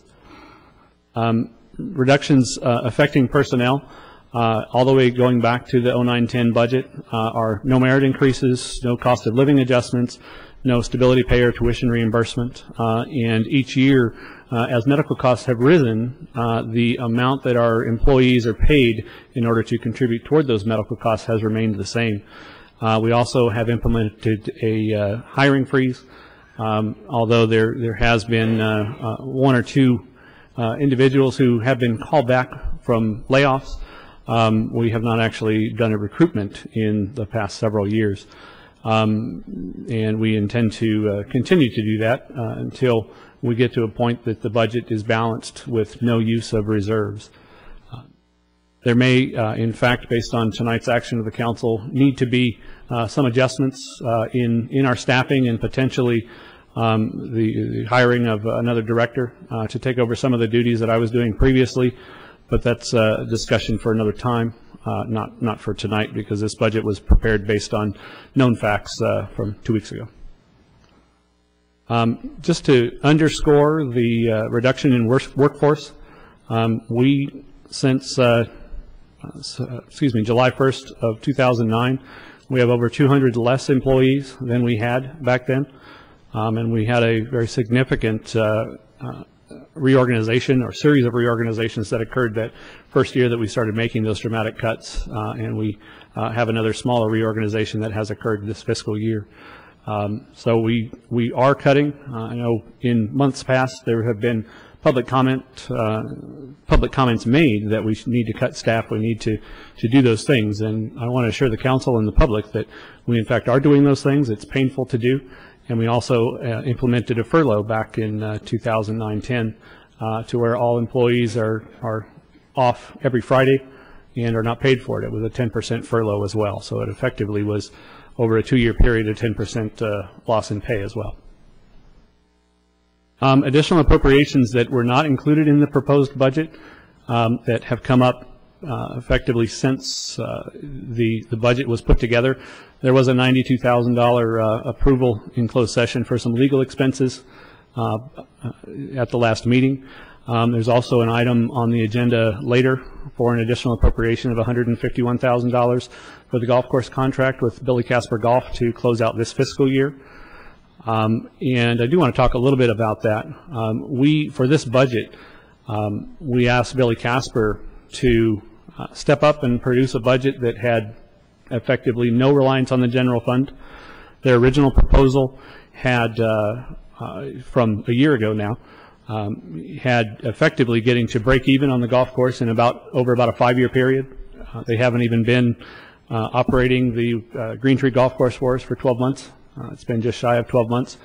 And uh, we knew when we asked them to come up with a, effectively a zero budget, that it would be difficult to do. Um, We hoped that they could get there, um, but uh, unfortunately, uh, they can't quite get there for next fiscal year. Um, And so something not to be considered at this time, but when that item comes up later, um, is to take a look at uh, the progress that they've made based on the original uh, budget, or excuse me, the original proposal that they had that really didn't break even and start making money for the city until the sixth year. Uh, We're now looking at uh, a relatively small uh, contribution for next year, uh, next fiscal year, and then actually going revenue positive the year after that. Um, I mentioned earlier that, uh, you know, the- no one on city staff wants to close any of our recreational facilities. Um, I do want to draw a bit of a distinction to the golf course. I don't live on the golf course, but uh, the golf course uh, is a bit different than some of our other uh, recreational facilities in that it traverses significant neighborhoods throughout the city um, that, uh, in order, if it were to close, it would end up being a blight and would actually be fairly costly to ever bring back. Um, We're hopeful that any sus- suspension of the recreational facilities that uh, may be necessary following tonight's meeting would be very temporary in nature. Uh, They would be easier to get back. And actually, um, the, a lot of the racquetball clubs have met with Mr. Gargan, who is on his way here now. He uh, was handling some city business uh, uh, outside of the city and is on his way here now, but he will be able to, later on, when that item comes up, talk about some of those, uh, some of those meetings that he's had. We're hopeful that uh, ultimately we will be able to come to some kind of an agreement that uh, keeps those facilities open in some way. Um, The concern that we have, though, is that uh, what do we do if ultimately those facilities end up costing the city, say, thirty, forty, fifty thousand dollars, and we just simply don't have the budget uh, to, to come up with that. So I think uh, that the, the folks that are here to support recreation are here rightfully so to do so, and I applaud them for the professional manner in which they approach the city um, in order to try to come up with uh, an innovative solution, uh, and I'm hopeful that, that we'll get there. Um, At the end of the day, uh, based on everything I've presented to you tonight, based on the budget proposal, as well as uh, some, uh, some of the uh, additional expenditures discussed just, just now, uh, we are looking at having an estimated general fund reserve balance of about $300,000 in uh, one year from now at June 30, uh, 2012. That concludes the presentation. Uh, I am available for comment or que- uh, to answer questions, as are uh, the department heads, uh, a lot of their staff, as well as uh, my budget staff who helped me put this together. Uh, Yes, Mr. Rostra. Uh, Just a comment on, Um, Is this microphone? Just to comment on the, on the um, golf course for a minute. Um, I don't know how many of you have been here when, I don't know how many years ago it was, uh, we did actually have a transition time there where the golf course was uh, privately owned, shut down for probably five to six, seven years, uh, and it went to dust. It went to desert. I mean, right, snaked through all of the neighborhoods and everything else. What an incredible blight and what an incredible impact, negative, I'm talking negative impact it was on the entire city. Not, not talking about any golfers or anything else, just the fact that having that golf course uh, go to desert uh, was an incredible loss. It took us millions of dollars to bring that up to the point where it is today, again, bringing it back through all those years. Uh, the iterations of the management and everything else has changed over that period of time. And to arrive at a point now where I have never heard anybody ever tell me that a municipal golf course would break even, let alone make any money for any city. It was, it's a loss leader in almost every community that has a municipal uh, golf course. Uh, and yet, uh, through all of this, uh, we're getting to a point now where that looks like it's going to, uh, it's making a little bit of money now, maybe uh, call it break even this year or, or next year, and then beginning to move into a more positive arrangement. Uh, so I think that we're on the right track here. But uh, for all the things that go through your head, don't ever consider uh, losing that golf course out there. Uh, it's a, it's a valuable asset to this city, whether you play golf or not. So just thought I'd share that with you a little bit. Okay, all of these uh, items are public hearing items, so I'm going to go ahead and open the public hearing on agenda items number 14, 15, 24, and 32. Uh, Those are the, all the budgets that are before the council and the various agencies that we represent for adoption. Um, I do have several cards. I'll start with Pastor Dane Davis. Brian, I think you missed item 17 as well. Oh, and item 17 as well.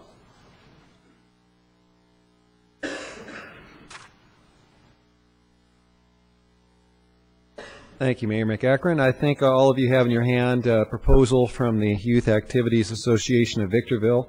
Uh, It's specific to the West Winds Sports Center, one of the recreational facilities slated to close the 1st of July. And uh, on the page two of of the handout there, uh, just a a quick summary of why the West Winds Gym is so important. Services hundreds, probably would be more accurate to say thousands of uh, teens and adults uh, here in the Victor Valley.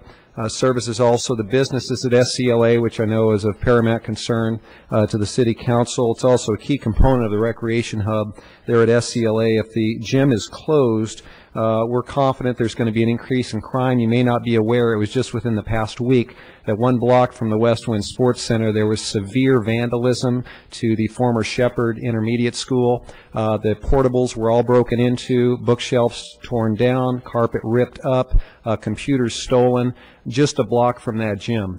And so one of the teachers was over at the church today, uh, right next to the gym, explaining the cleanup process. I have a a big concern about that. Also, there's concerns about obesity among childhood. We hear much about that recently. Closing a gym certainly doesn't help that.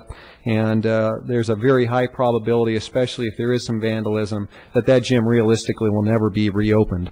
As it currently stands, it's not in fantastic condition. Uh, add some vandalism to the mix, and you're talking uh, something that's completely cost prohibitive to reopen. I'd like you to go to page three, if you would, please. Uh, you'll be able to see the current budget uh, for that gym in particular, uh, as has already been mentioned uh, by Deputy City Manager Robertson. I have been in communication uh, with John Gargan over the last few weeks, and so these numbers are directly from him. Uh, if you look at the utilities and the first few line items uh, under cost, uh, bottom line is that facility right now is costing the city just over 105,000. It's actually 105,632 uh, per year to operate. You subtract from that second to last item on the chart there is the income from fees. Uh, that's the two dollars paid for use of racquetball, basketball, etc. You subtract that thirty-two thousand. The current shortfall to the city is just over seventy-three thousand, actually seventy-three six three two per year. Uh, column three. Uh, what we are suggesting as an association, and uh, these are modest numbers. These are not pie in the sky numbers. Uh, I sat down with uh, one of uh, the businesses the city has helped to solicit, Kevin Mahaffey, the CEO of X Quadrum, that is now going to be leasing a facility there just to the side of the airstrip uh, for the aerospace company. Sat down, looked at these numbers today. Uh, what we are proposing is a reduction in utility costs, electricity being one of the greatest costs at that facility can easily be reduced. There's a swamp cooler, cooler unit being uh, cooling the main core of that building, the gym and the lobby. AC units are just for the racquetball courts. We could save 10000 a year by reducing that. Uh, work your way down to the fourth to last item building maintenance and then the third to last labor, we could reduce the cost by 50,000 by transitioning over the next 6 months to completely volunteer labor labor for manning that desk at the facility and also for taking care of the routine maintenance that's a part of that facility. So when all is said and done, uh, not even looking at uh, what's going to be presented here in just a moment about increasing revenue based on better promotion of the facilities, uh, increasing the number of leagues that are making use of facilities, use of the church. Pastor Porras is going to share in a moment about church rentals on Sundays, which is currently a closed day. Uh, without even looking at increased revenue, we within six months uh, believe, even looking at the numbers conservatively, that this could be cost neutral, uh, that it could be revenue neutral within six months. Uh, we just need some time. What we're proposing tonight is that the City Council allow us at least 60 days to demonstrate that we can significantly reduce costs to this facility and we can significantly increase revenue. And so in conclusion on the final page there, this is an important gem for the facility. Uh, it's an important uh, gem for the businesses at SCLA. Uh, and also, uh, we just believe that because of these hard economic times, we realize, Council, that you don't want to see it close. We understand that city staff doesn't want to see it close. The community doesn't want to see it close. During these tough economic times, would you allow us to work with you to allow this gym to stay open and give us some time to demonstrate that we can make this cost neutral? And if it doesn't pan out in a few months, we'll understand if you need to close the doors or come up with another plan. But at least give us a chance. Thank you. Thank you, Pastor David.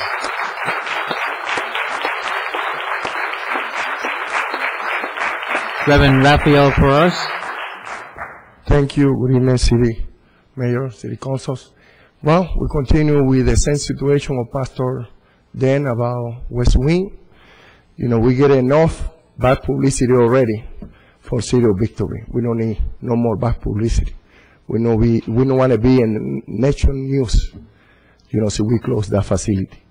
Let's, uh, Mr. Mayor, see, you can give you 60 days. You can make a proposal or something to we can get 60 days to put in a head together.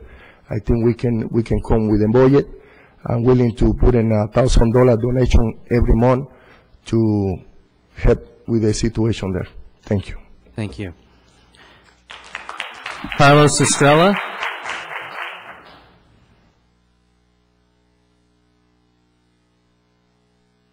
Mayor and council members, thank you for hearing me today. Um, I'm a uh, coach and player agent for Sperry National Junior Basketball Association.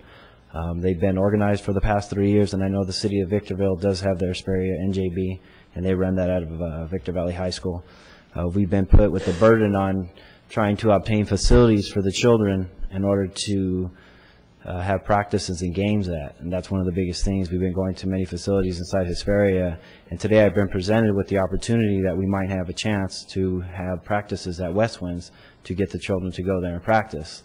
Um, it's definitely a, a, plus for the children in the community, being teamwork, dedication, and uh, you know just overall physical fitness for them, just like everybody has presented you here today. Um, but I just came up here today just to show you that there are hundreds of children that have the opportunity to possibly have practices here, and it's definitely during these economic times hard enough to uh, find facilities out there. Um, hopefully we can bring something to that facility, bring it alive again, as well as all the other members that are present there today and do play their recreations daily. Um, thank you for listening to me, and uh, thank you for the opportunity. Thank you.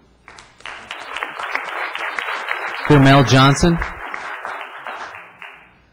Um, thank you for having me, City Council uh, and Mayor. Uh, my name is Jamel Johnson. Uh, I'm a resident of uh, Victorville, California, but I'm originally from Cleveland, Ohio. It's, it was a city that was devastated in the in uh, the 70s. I left there and uh, joined the Marine Corps. And the Marine Corps retired after 20 years, and I came here to settle in in Victorville. When I settled in, I had a son and, and two daughters. Um, and one of the things that I found that was missing was uh, I didn't have a chance to actually work with young people again. I found in the Marine Corps that that was part of my talent. It was part of my talent to help children. I found by being a coach in Victorville and West Wings, I found that most of the kids that were coming up there for me to coach as a basketball player didn't have a, a male role model at home. I'm going to tell you some numbers right now. I have 17 kids that are in college right now. One of them is my son, who's going to be a doctor. That's right. He's going to be a doctor. He fought the odds. He broke broke through, and he's doing it. All of his friends that played for me are going on to be something else. But I've got to tell you, City Council, you better think long and hard. We talk about money. Should be talking about the youth of today. That youth is going to wind up in prison because they have no place to go. They have nothing to do. They will have nobody to turn to. So please take the time and think about what you're going to do here. By closing West Wings, um, it's just going to be a tragedy. Now, in closing, I, am not going to I'm not going to drag this thing on. In closing, I told my son that it was going to close. He said, "Dad, do what you can." He said, "I love that gym. All my friends love that gym. It kept them out of trouble when they were seniors, juniors, sophomores. They didn't run the streets. I can't tell you what it means to the community, but I can tell you what it meant to me to be a coach, to be a dad, to be a member of this community. It's tough, but being a volunteer, losing money on Saturday when I should be working, that was even tougher.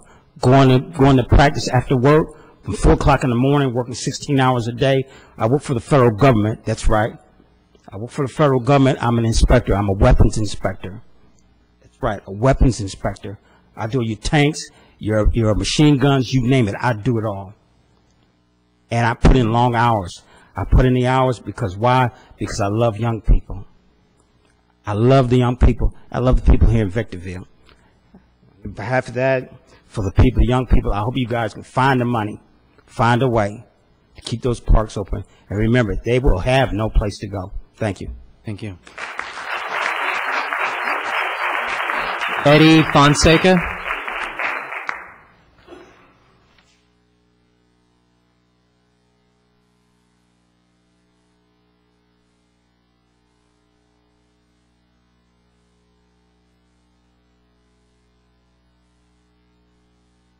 Mayor and City Council. My name is Eddie Fonseca, and um, I'm here regarding West Wind. And uh, my family uses, utilizes that facility.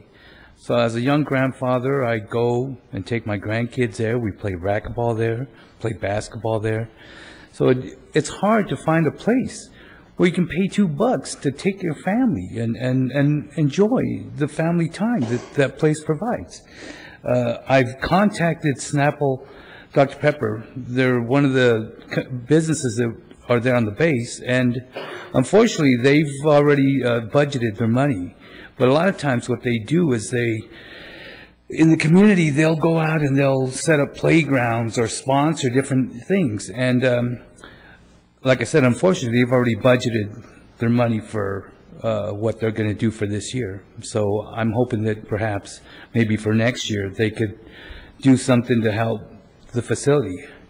And so um, I just thought of, you know, perhaps another thing that we could do is perhaps the city could still be responsible and unlock the facility. We're more than willing to volunteer our time to keep the place up, to make sure that there isn't any vandalism going on. Uh, I've one time I came here, I said raise the fee, you know, whatever it takes. Uh, you know, we could have tournaments the, the place could be rented for parties, uh, but uh, I certainly wouldn't like to see it closed because we use it and it uh, being part of the community, you know, it's a place to go and for young people to uh, utilize. Thank you. Thank you.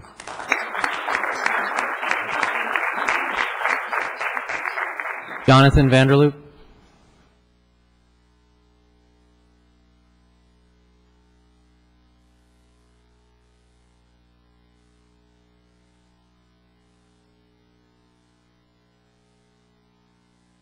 Members of the City Council and uh, fellow citizens of uh, Victorville and the area. Uh, I'm going to briefly uh, discuss a few of the uh, options and ideas we have for increasing the usage and the ac- activities and the funds generated by the West Winds. Some of the um, things we're looking at doing is having challenge ladders, leagues, under 18, over 18, over 50, uh, youth programs, school programs, instruction in all of the sports available at West Winds, um, and tournaments, which you just mentioned, uh, in handball, racquetball, basketball, possibly volleyball, volleyball, badminton, unicycle, juggling, etc. And we have a number of people that are interested in working with children uh, to uh, do these programs with youth. In addition to that, we have uh, looked at the possibility of uh, generating uh, funds by uh, selling a membership of, uh, say, $30 a month. And uh, if we uh, sell 100 of those, um, we would be generating $3,000 a month, which is basically half of the uh, uh, loss the city is seeing right now. And to that end, I have talked to uh, almost 50 uh, users of the facility and asked them if uh, they would be willing to pay uh, $30 and donate a couple hours a month of uh, volunteer time uh, to keep the facility open. And to a T, no, nobody's refused. Everybody said, uh, if that's what it takes to keep it open, we're willing to do it. So I'm sure I can find another 50 to make the 100. Um, another thing we're looking at is, um, besides uh, Reverend Porras coming to bat for us for $1,000 a month, we're looking at doing um, fundraisers and getting donations, et cetera. We've approached a number of people that are interested in doing that if we can get the go-ahead from you guys. Um, and we're also um, looking at uh, increased revenue from all of these uh, additional activities that we have.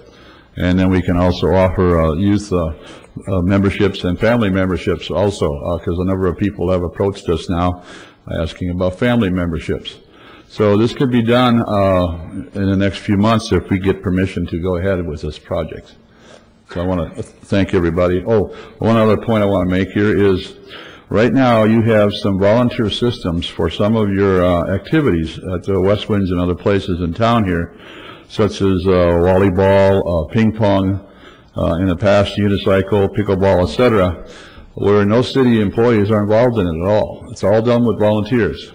So all we're asking to do is to take that same concept and apply it to the racquetball and the basketball, because you're already doing the other things on that same basis.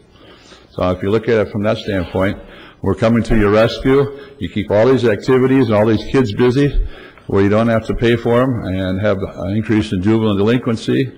And having been at the juvenile detention center today, you really don't want to send these kids out there. I was in the Max uh, department today. All these guys are in their 14 to 18 years. They're waiting to turn 18 to go to the big house because they've all been convicted of attempted murder or murder, and they got sentences anywhere from 10 to 30 years. So if we can prevent people from doing that and going that route, that is worth a lot of money and a lot of goodwill in the community. Thank you. Susan Wells.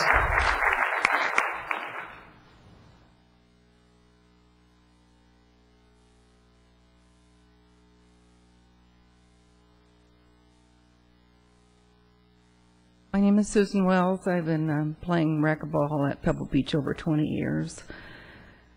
I don't think you realize that most of your constituents have no idea what's going on. I've been talking to the people at the park, played racquetball today, talking to the young mothers at the pool, the grandmothers. They have no idea that you're considering even closing this pool.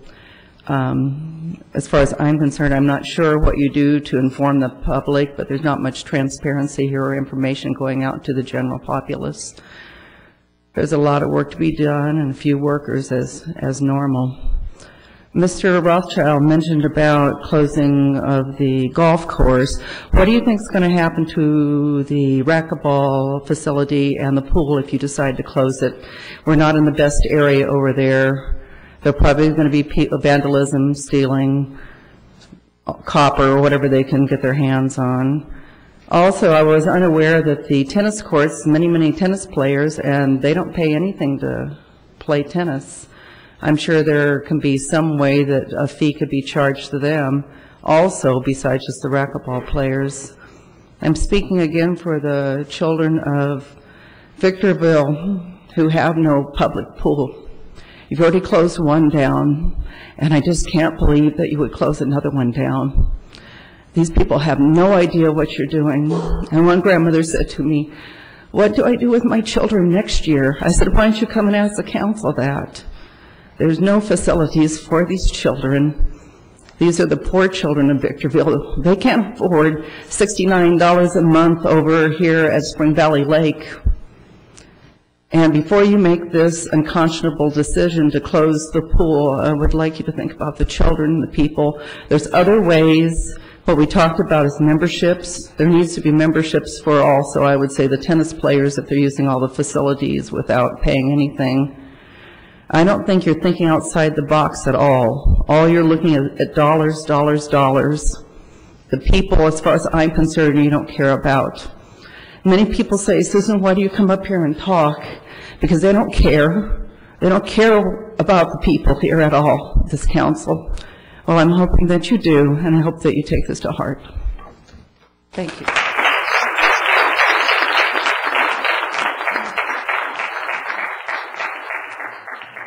Okay, that is all the cards I have on our budget uh, public hearing items. Anyone else wishing to address the council on any of those items? All right, seeing no one else, I'll close the public hearing on uh, those agenda items and return it to the council for uh, comments and entertain motions and direction to staff.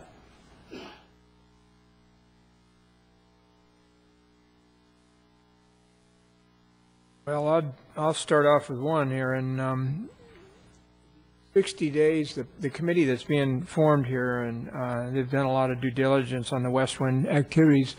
Um, I would ask the council to uh, to budget that 60 days in, and not not only that, but I'll whenever the meetings are, if somebody will notify me, I'll even show up to the meetings just just as a direct conduit back into the city council. So I'll, I'll come out there and, and do that too. Uh, I, I agree with the lady that said that you know uh, the unsightliness of the golf course dying on us and all this time.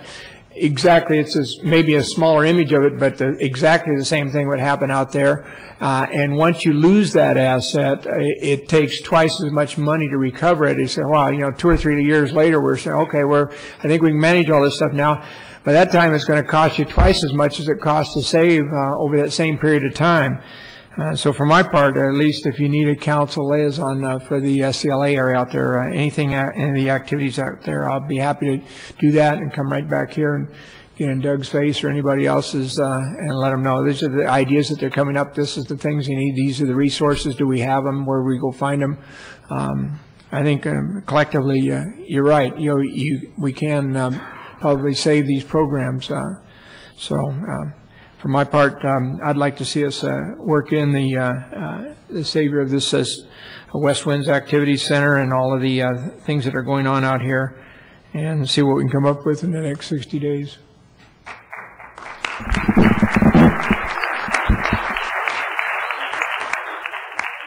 I'm just going to add to that, Pastor, if you can get close to what you've done here, uh, we'll keep it open. There's, there's just no way we would close it if you can get anywhere close to this. And, and if, and if this approach will work at West Winds, it'll work at Pebble Beach Park. I mean, it's, it's the same concept. Uh, so I, you can count on us to back any effort you make in this area.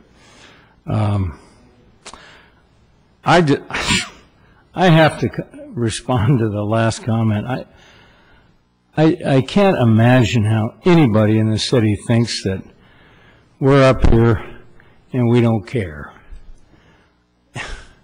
This is the last thing in the world that I needed to do at this stage of my life. If you don't think I'd rather be at home with my wife and my grandkids rather than sitting up here and listening to the criticism that we get heaped with week after week when our, our problem that we just can't we can't make it go away is the is the decline in money. We've got to live with that. Now, knowing that, we can do all this other stuff. There's nothing we can't do. And and volunteerism is a is a wonderful answer. And we're going to back that to the hill. But geez, criticize if you don't like the decision, but to suggest for a second that anybody sitting up here doesn't care about what we're doing and care about the people of Victorville is just, that's, uh, it's wrong.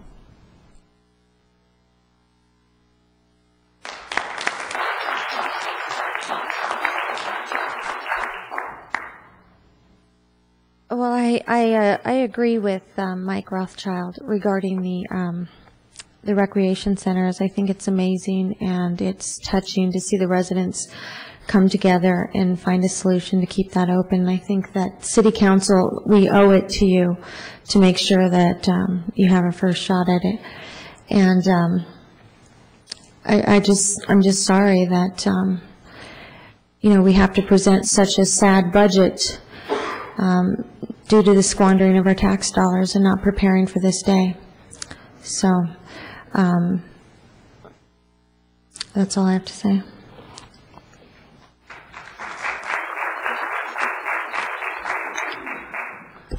Well, I'll just echo all the comments of, of my colleagues up here. This presentation and, and the thought and preparation that you put into it is quite impressive. Uh, it looks somewhat like uh, what our staff does in putting together their PowerPoint presentations to present a budget to us and showing us how you can and uh, make this break even. I think, uh, as they have stated, we owe it to you. I think really that was the direction that we sent staff in last time we had a workshop. Um, it's somewhat frustrating to me that that didn't get itself worked out prior to tonight, but it definitely deserves the additional 60 days. Um, I think we need to figure out how we do it. Uh, I'm I'm just uh, uh, overwhelmed at the numbers of people that showed up in support of West Winds. It's quite um, uh, quite impressive uh, that you had such a showing. Um, I wish there were that showing for Pebble Beach Park, but I think that you all that are here for West Winds ought to look to help those that use Pebble Beach Park to duplicate what you're doing out at West Winds because if we can do the same thing over at Pebble Beach Park, we ought to be doing it there as well. So um, I think this is just uh, the start of something great, and uh, I think the council's direction here tonight is to give you that 60 days. Uh, hopefully, in that time frame, it can be worked out. And uh, uh, like Councilmember Rothschild, I'd be willing to write letters to any and all tenants out at SCLA, asking them to help and sponsor. Um, you know, put my signature to those letters and, and uh, make follow-up phone calls if it helps, do whatever I can to help you raise money. Um, and hopefully with Pebble Beach Park, we can get uh, the business community throughout the rest of the city to step up with sponsorships and figure out ways that we can keep that facility open as well. So um, I think with that, uh, we've, we're pretty much... Let's, let's mention, I've seen a couple of chamber high-powered chamber folks sitting in this meeting tonight, and I think this ought to be a project the chamber takes on. Well, I, I couldn't agree more. I would hope that the chamber would, would take this and run with it. Um, and other, other civic organizations, Rotary, Kiwanis, um, you know, this is your time to shine. This is the opportunity to, you always give back to this community.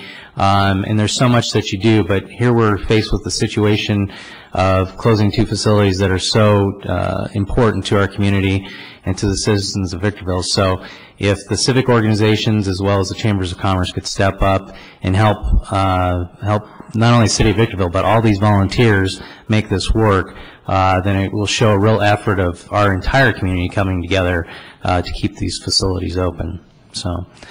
Um, with that, I think the direction to staff is, is to work, continue to work over the next 60 days uh, with uh, this group and perhaps others uh, to keep this, keep both uh, West Winds and Pebble Beach Park open. Um, but I would go ahead and move the adoption of the budget for all agencies as presented with that direction. Second.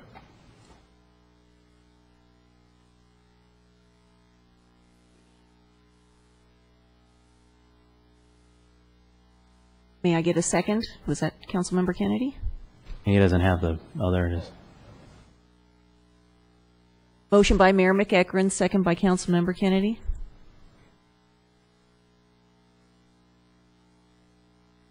Motion carries with Councilmember Cabriales absent and Councilmember Vyas voting no. Mr. Mayor and Council, it's with pleasure that we'll make that adjustment to the budget uh, and finalize it.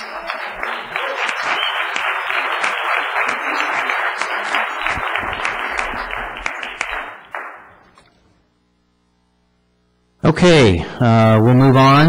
Uh, We have, under Southern California Logistics Airport Authority, agenda item number 16. This is a companion to City Council item number 40. This is a request to approve the memorandum of understanding by and between the Southern California Logistics Airport Authority and the City of Victorville and k and D Affiliates LLC. Motion by Councilmember Kennedy, second by Councilmember Rothschild. Motion carries with Mayor Pro Tem Cabriales absent and Councilmember Vyas voting no. Okay, moving on to the redevelopment agency, uh, agenda item number 18, under written communications, this is a request to adopt resolution number 11-007, entitled "A Resolution of the Victorville Redevelopment Agency Finding That the Use of Low and Moderate Income Housing Funds Allocated from the Victorville Redevelopment Agency Project Areas for Planning and General Administrative Costs is necessary for the purpose of producing, improving, and preserving the community's supply of low and moderate income housing."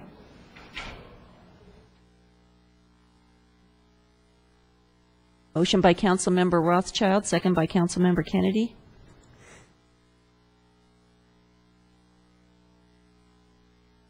Motion carries with Mayor Pro Tem Cabriales absent and Councilmember Vyas voting no.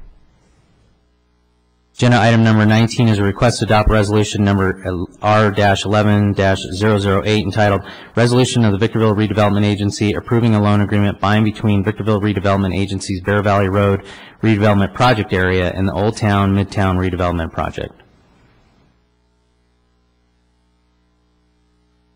Motion by Councilmember Rothschild, second by Councilmember Kennedy.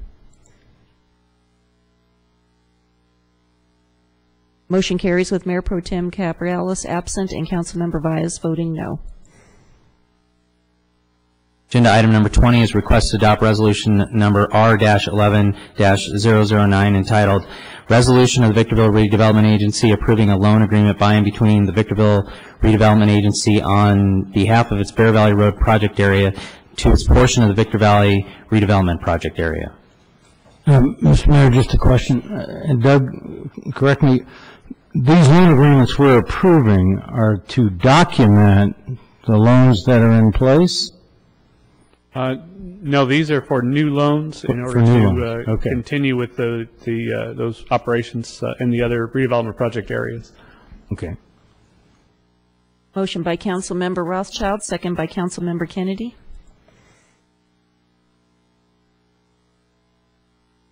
Motion carries with Mayor Pro Tem Cabriales absent and Councilmember Vyas voting no. Okay, I'm going to handle agenda items number 21, 23, 27, and 31 together, as Councilmember Vyas is going to abstain from those. Uh, So we'll handle agenda item number 21 first. This is a companion companion item to City Council item number 27.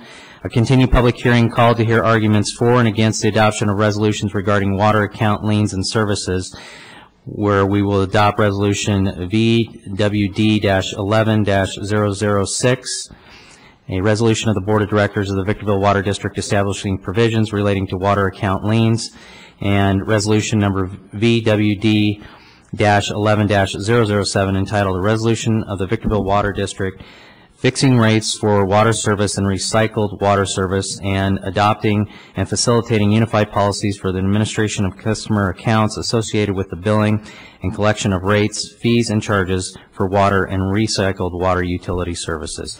Uh, This is a public hearing. I will open the public hearing on agenda item number 21 under the Victorville Water District and agenda item number 27 under the City Council. Anyone wishing to address the council on these items? All right, seeing no one, I'll close the public hearing and return it to the council for a decision. Motion by Councilmember Kennedy, second by Councilmember Rothschild.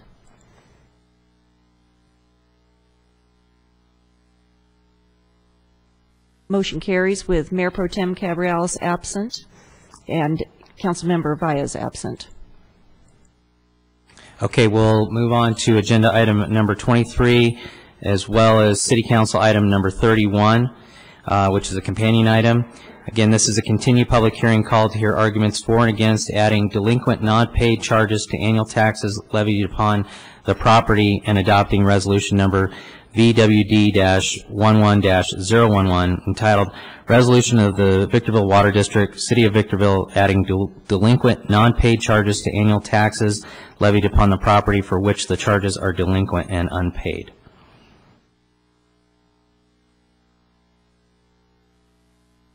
This, oh, uh, my apologies. This is a public hearing, so I'll open the public hearing on agenda items number 23 and under the Victorville Water District and 31 under the City Council. Anyone wishing to address the council on those agenda items? All right, seeing no one, I'll close the public hearing and return to the council for decision. Motion by Councilmember Rothschild, second by Councilmember Kennedy.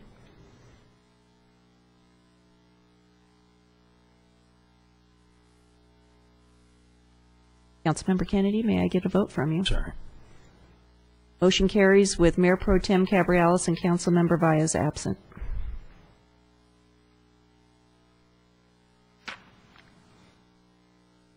Okay. Now we'll move into written communications under the Victorville Water District, or I'm sorry, no. Yeah, agenda item number 22. Uh, This is a continued public hearing called to hear arguments for and against making determinations, uh, determination to fix, levy, and collect water standby assessments for the fiscal year 2010, 2011, and adopt the following resolutions. Resolution number VWD-11-009, entitled, "A Resolution of the Victorville Water District Making Its Determinations to Fix, Levy, and Collect Standby and Availability Charges for Water Improvement District Number 1 for fiscal year 2010, 2011." Resolution number VWD-11-010, entitled, "A Resolution of the Victorville Water District Making Its Determinations to Fix, Levy, and Collect Standby and Availability Charges for Water Improvement District Number 2 for fiscal year 2010, 2011." Again, this is a public hearing. I'll open the public hearing on agenda item number 22. Anyone wishing to address the council on that item? Seeing no one, I'll close the public hearing and return to the council for a decision. Motion by Councilmember Kennedy, second by Councilmember Rothschild. Motion carries with Mayor Pro Tem Cabriales absent and Councilmember Vyas voting no. Under agenda item number 25, under the Victorville Water District, uh, this is a request to approve the 2010 Urban Water Management Plan for Victorville Water District and adopt resolution number VWD 11-008 entitled, "A Resolution of the Board of Directors of the Victorville Water District adopting the Victorville Water District 2010 Urban Water Urban Water Management Plan." Motion by Councilmember Kennedy, second by Councilmember Rothschild.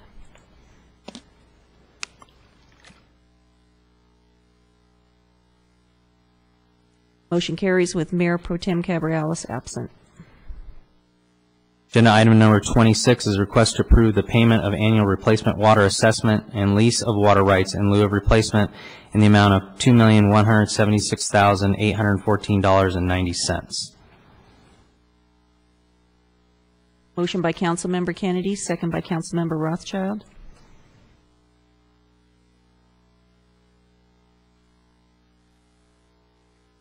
Motion carries with Mayor Pro Tem Cabriales absent.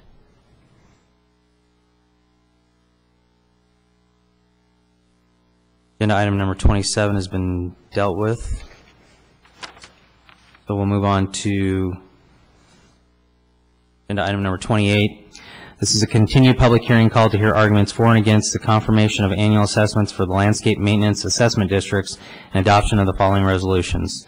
Resolution number 11-022 entitled, "A Resolution of the City Council of the City of Victorville confirming annual assessments for the maintenance of landscape areas in the citywide one Landscape Maintenance Assessment District Number One for fiscal year 2011-2012. B, Resolution Number 11-023 entitled Resolution of the City Council of the City of Victorville confirming annual assessments for the maintenance of landscaped areas in Eagle Ranch Landscape Maintenance Assessment District Number 2 for fiscal year 2011-2012. C, Resolution Number 11-024 entitled A Resolution of the City Council of the City of Victorville confirming annual assessments for the maintenance of landscape areas in Brentwood Landscape Maintenance Assessment District Number 3 for fiscal year 2011-2012. Resolution Number 11-025 entitled A Resolution of the City Council of the City of Victorville confirming annual assessments for the maintenance of landscape areas in Old Town Landscape Maintenance Assessment District Number 4 for fiscal year 2011-12. Resolution number 11-026 entitled, "A Resolution of the City Council of the City of Victorville confirming annual assessments for the maintenance of landscape areas in Vista Verde Landscape Maintenance Assessment District Number 5 for fiscal year 11-12." Resolution number da- uh, 11-027 entitled, "A Resolution of the City Council of the City of Victorville confirming annual assessments for the maintenance of landscape areas in citywide 2 Landscape Maintenance Assessment District Number 6 for fiscal year 11-12." Resolution 11-028 entitled, "A Resolution of the City Council of the City of Victorville confirming annual assessments for the maintenance of landscape areas in Talon Ranch Landscape Maintenance Assessment District Number 7 for fiscal year 11-12." And finally, Resolution Number 11-029 titled, "A Resolution of the City Council of the City of Victorville confirming annual assessments for the maintenance of landscape areas in West Creek Landscape Maintenance Assessment District Number 8 for fiscal year 11-12." Again, this is a public hearing on agenda item number 28. I'll open the public hearing on this item. Anyone wishing to address the council on this? If you could come forward. This is, uh, most of this is passing me in both lanes, okay? I have no idea what you guys are even talking about, but when that young lady was up here asking about the maintenance, is this, is this talking about hiring somebody that's local for doing this, or what? What is this? No, and I'll, if I could have you speak to what the assessments are? Sure, these are actually uh, property tax assessments uh, that we have to do an annual uh, uh, resolution in order to keep them continuing. Um, It's not raising taxes, it's not lowering taxes, it's keeping taxes the same. Uh, But these are the uh, LMADs that she referred to, but this isn't the contract uh, in order to maintain them. This is in order to uh, receive monies from the citizens of Victorville who agreed to pay those uh, monies when they moved into those homes. And then those monies are used to enter into contracts or pay our own staff to some, to maintain those uh, as needed. Okay, thank you very much, I appreciate it. Thank you. But I've got, and I, I mean, I'm going to vote for the assessment. Obviously, that doesn't have anything to do with the contract, but I have, I have a question about how we go out to bid on these, uh, on this as a collective package too. I mean, we've been doing it kind of almost automatic here for a number of years, and uh, I'd like at least to have it come back to the council. How do we do this? Uh, Do we go out and, and get uh, an open bid locally or anything else, or is there something else involved in that process? I'm a little bit at a loss. on- I know, I understand the assessments and I understand how they work. I do not understand how we allocate uh, uh, the contract out to do the maintenance work on this. Okay, I thought those contracts were discussed in a November, or December meeting. I remember being at that meeting, wasn't it? Is everything done in-house? Is everything done in-house, or do we, I didn't think so. I thought we had, uh, I'd like to know a little bit more about that. Not tonight, because it's not a part of the motion, but it's a legitimate question I'd like to know more about.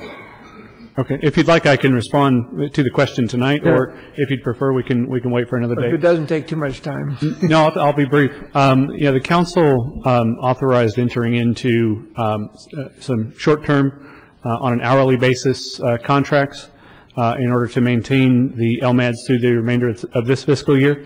And staff is working on a very, very, very comprehensive uh, map of all of our LMADs, including maintenance levels and uh, exact square footages, uh, so that we can do a more specific uh, contract uh, RFP process for that. Uh, At the uh, budget meeting that we had two months ago, um, the council also directed staff to, to at least let RFPs for a a number of other services, and I believe that we have seven or eight that are in the final development stages. Uh, I would imagine that three or four of those are probably going to end up going out uh, within a week or so, and the other four, we're just waiting on on finalizing the the actual uh, um, technical specifications as to exactly what, what we're expecting from those RFPs.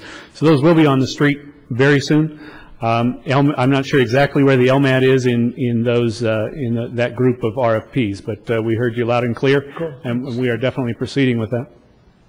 All right, the public hearing is still open. Anyone else wishing to address the council on this item? All right, seeing no one, I'll close the public hearing and return it to the council. Motion by Councilmember Rothschild, second by Councilmember Kennedy.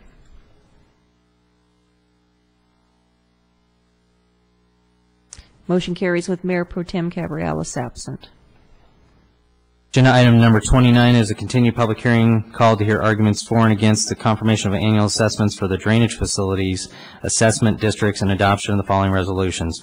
Resolution number 11-030 entitled, "A Resolution of the City Council of the City of Victorville confirming annual assessments for the maintenance of drainage and landscape areas in the citywide drainage facilities assessment district number one for fiscal year 2011-2012."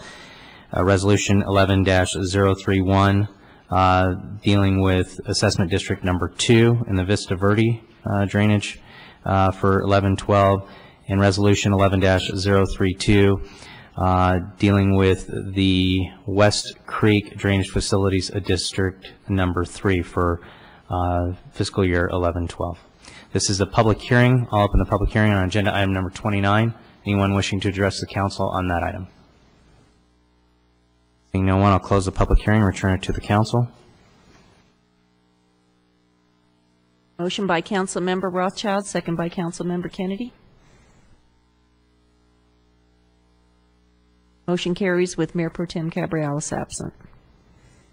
Agenda item number 30, another continuing public hearing called to hear arguments for and against the confirmation of annual assessments for maintenance assessment districts number one and two and adoption of the following resolution, resolution number 11-033, uh, which is a resolution of the City Council of the City of Victorville confirming annual assessments for the maintenance of park and landscape areas in the Las Haciendas Maintenance Assessment District Number One for fiscal year 11-12, and resolution 11-034 entitled Resolution of City Council City of Victorville confirming annual assessments for the maintenance of park and landscape areas in the Vista del Valle uh, Maintenance Assessment District Number Two for fiscal year 11-12.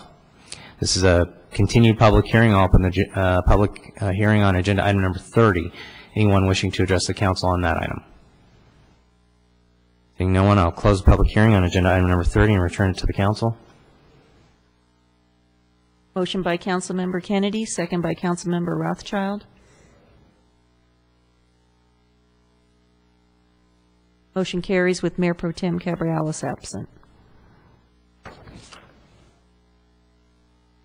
Next item on our uh, agenda is the consent calendar.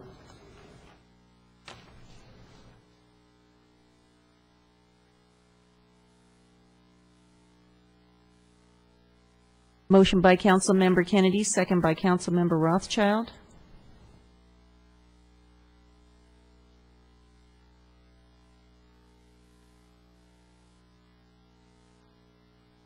Motion carries with Mayor Pro Tem Cabriales absent and Councilmember Valles voting no. Moving on to agenda item number 34 under written communications. Uh, This is a request to approve the proposed settlement agreement for the litigation case regarding the City of Victorville versus Nunez, CIVVS 802634, in the amount of $560,000.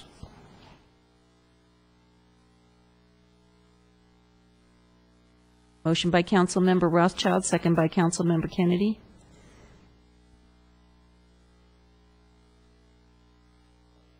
Motion carries with Mayor Pro Tem Cabriales absent and Councilmember Valles voting no.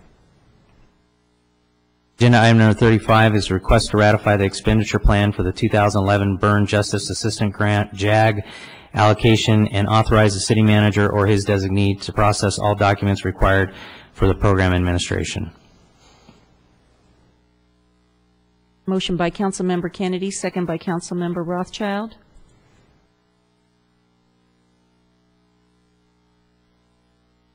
Motion carries with Mayor Pro Tem Cabriales absent. Agenda item number 36 is request to adopt resolution number 11-038 entitled Resolution of the City Council of the City of Victorville approving the application for statewide park program grant funds. Motion by Councilmember Rothschild, second by Councilmember Kennedy.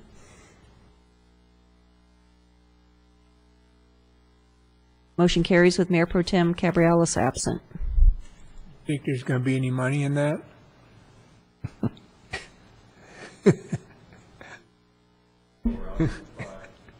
Agenda item number 37 is a request to award a contract to VCI Telecom for the construction of Innovation Way roadway at SCLA in the amount of $1,647,785.77.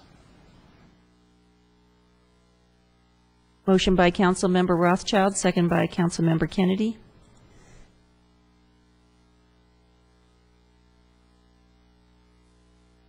Motion carries with Mayor Pro Tem Cabriales absent and Councilmember Valles voting no.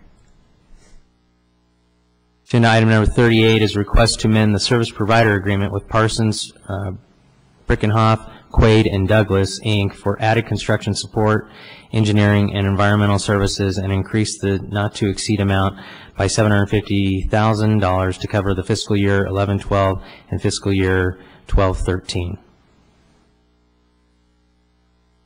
Motion by Councilmember Rothschild, second by Councilmember Kennedy.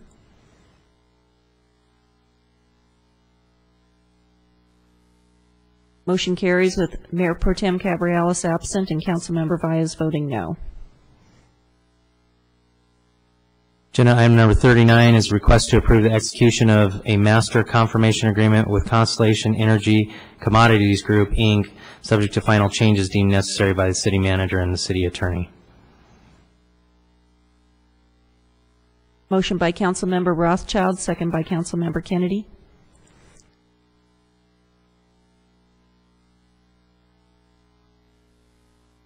Motion carries with Mayor Pro Tem Cabriales absent and Councilmember Valles voting no. Agenda item number 40 has been dealt with. We'll move on to agenda item number 41. This is a presentation of requests to approve the immediate closure of West Winds Golf Course and appropriation of $151,000 for fiscal year 11-12 pursuant to information provided by Billy Casper Golf.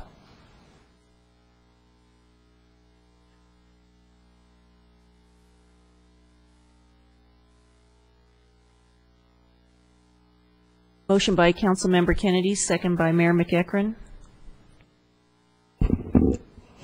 I have a question. Are we going to get a presentation? Doug, were you going to provide an additional Um. I Yeah. uh, went over it mostly in the budget. Um, There is an updated pro forma um, that is a change from what uh, they, Billy Casper sent to us as part of the RFP process from one year ago.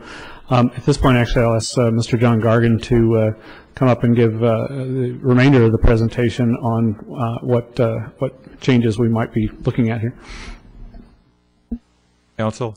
Uh, been- At the onset of the management contract with Billy Casper Golf, it was the intention of both parties to try to keep West Winds uh, Golf Course, or reopen it and keep it running at the same time as um, Green Tree. But with the fact that it had been closed for close to a year, and it took another, you know, three months to to get it operational, and the continued downturn in the economy, it has become quite evident that we cannot continue to to uh, support both golf courses. The it's, it's just not there. The play isn't there. So that's why the recommendation to close West Winds down immediately, um, so we can um, you know st- stop the the bleeding there. Um, as far as the appropriations for Green Tree, uh, due to the fact that uh, there was the change uh, of closing West Winds down, as well as their assumption uh, here in a few months of the of the uh, food and beverage operation uh, at Green Tree. Uh, They were not able to get the numbers to us in time for the budget um, submittal, and so this is their their portion uh, of that um, budget sum- submittal. Uh, This year's uh, budget for the courses was over 800,000. They're they're they're asking for 151,000 for next year, so you can see that they are whittling away at it. And if you saw the pro forma, uh, Originally, uh, after 2015, they were showing a loss at Green Tree, accumulated loss for all, for the first five years of um, over $800,000. And now, at the end of 2015, we're looking at a surplus of $332,000. So we're looking at a turnaround of over $1.1 million um, since uh, now that they've, they've got their feet on the ground and operations are going and they're doing what we hired them to do. So uh, that's, that's the situation right now. So I understand, when we're talking about the West Winds Golf Course Clo- Closing down, yes. closing down, that has nothing to do with closing down the recreation part of it? No, no, has nothing to do two with it. Complete, items. complete separate item. Okay. John, the 151 is for It's for green, the uh, Green Tree operations. Green Tree. Right. And- And, and if you notice in the past, that's always been pr- probably close to a million dollars. Uh, was being subsidized. Um, They were able to cut all, we probably cut about 500,000 out of the budget this past year with their operations, and now they're going to be able to cut an additional um, is- is 700 or so thousand out of that this upcoming year. And and like I said, uh, by the end of 2015, the operations will be able to start paying back the general fund that's been subsidized This amount years. should have been in the budget. They didn't get it to us in time. Correct. So this is kind of an Correct. addendum to the budget. Correct. Uh, The reason I hesitated actually was I wanted to ask you about the driving range. Is that, uh, could that be a revenue, ongoing revenue thing, even if we close down the, the golf course? You're still, well, you're, you're going to have maintenance, you're going to have water, uh, mowing On the driving range? on the driving range. You still have water the grass, for the grass to be out there. You have to, you have to and mow it, and then either, you either have to automate it with a, a ball machine, um, but then you're, you're still having electricity that have to be turned on to run, to run the machine. All right. And fill it and do all those types of things. So it's, right now, it's, it's I got you. it's not feasible. I got you, I got you. So the Mayor and West- council, oh, I'm sorry. The Sorry, West. Wind golfers can still go to the Grumpy Golfer? The, the one over here? Yes. Once we close this one down, they still have another one, which is the Grumpy Yes, the Golfer? member, the memberships are good at both courses. Okay, got it. And and just for the mayor and council's uh, information, I, there are two members of uh, Billy Casper Golf here tonight. I know they're willing to answer questions uh, if you have any of them. Um, And additionally, I've been in discussions with them about uh, some concepts that they have to potentially add a driving range to the Green Tree Golf Course. Um, It would make, it would take some modifications to uh, hole number 18, and it would take a bit of an infusement of cash, uh, but ultimately, over a a multi-year period, we believe that it would pay for itself not only through uh, the use of of the driving range, but also perhaps an increased use of the golf course, having the driving range there uh, and available. So that's something we'll be looking at over the next few months to see if we can come up with a way to make that happen and, and get Green Tree back on its feet and, and revenue positive even, even more and more quickly. Uh, I did want to mention to them, and I see them out in the audience, and I'm putting them on the spot, um, that uh, I, I have made it very clear exactly where we are from a budget standpoint. You know, our first year, we had to make some adjustments. They know everything they need to know now. They are professionals. They manage over 100 golf courses, um, and they are successful at it. And they, I've made it painfully clear to them that they can't come back in August, September, December, March and say, hey, gosh, we need more money, because it's just not there. And I want the council to be assured that, uh, that we're going to make it work for this budget amount. And, and that's the discussion that we've had with, with Billy Casper, and they're committed to that.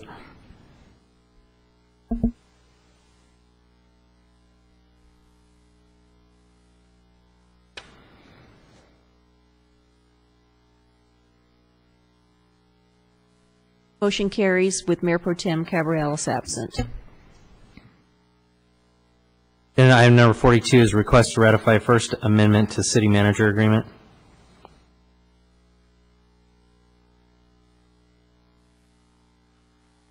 Motion by Councilmember Kennedy, second by Councilmember Rothschild.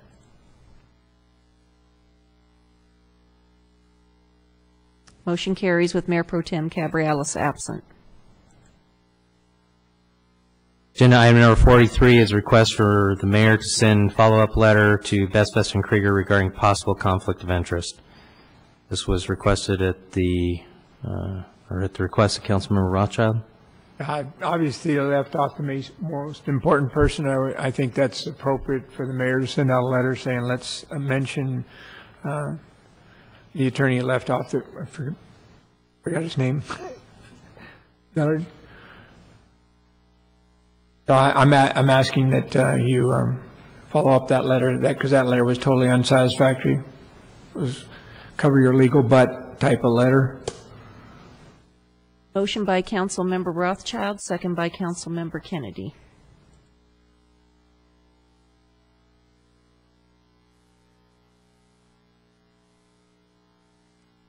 Motion carries with Mayor McEachron voting no and Mayor Pro Tem Cabriales absent.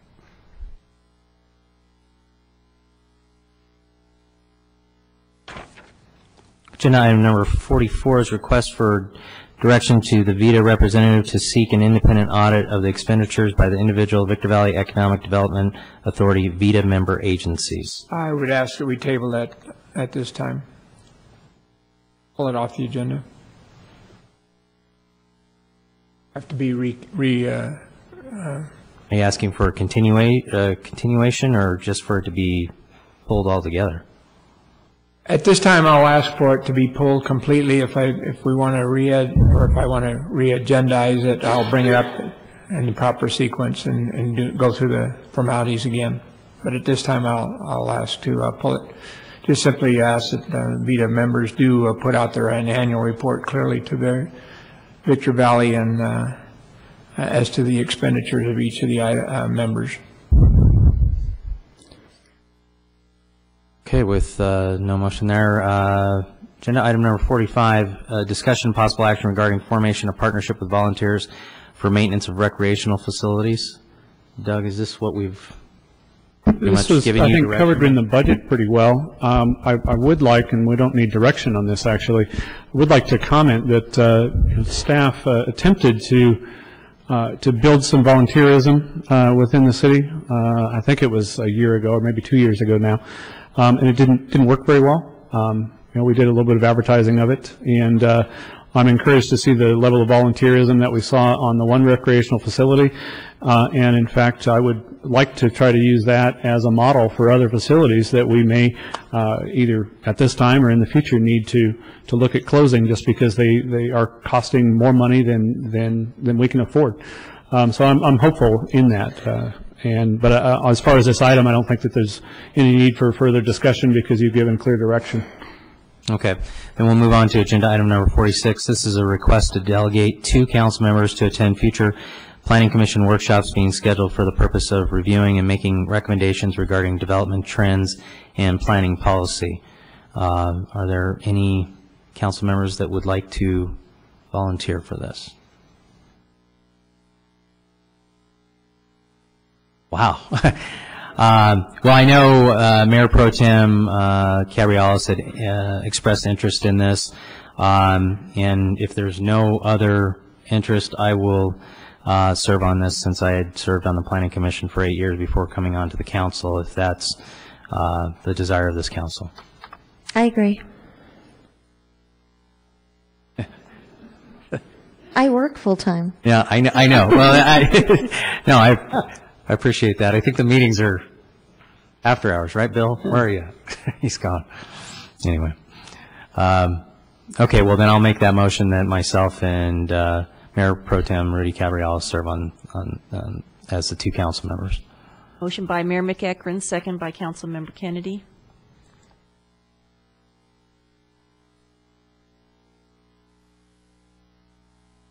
Motion carries with Mayor Pro Tem Cabriales absent.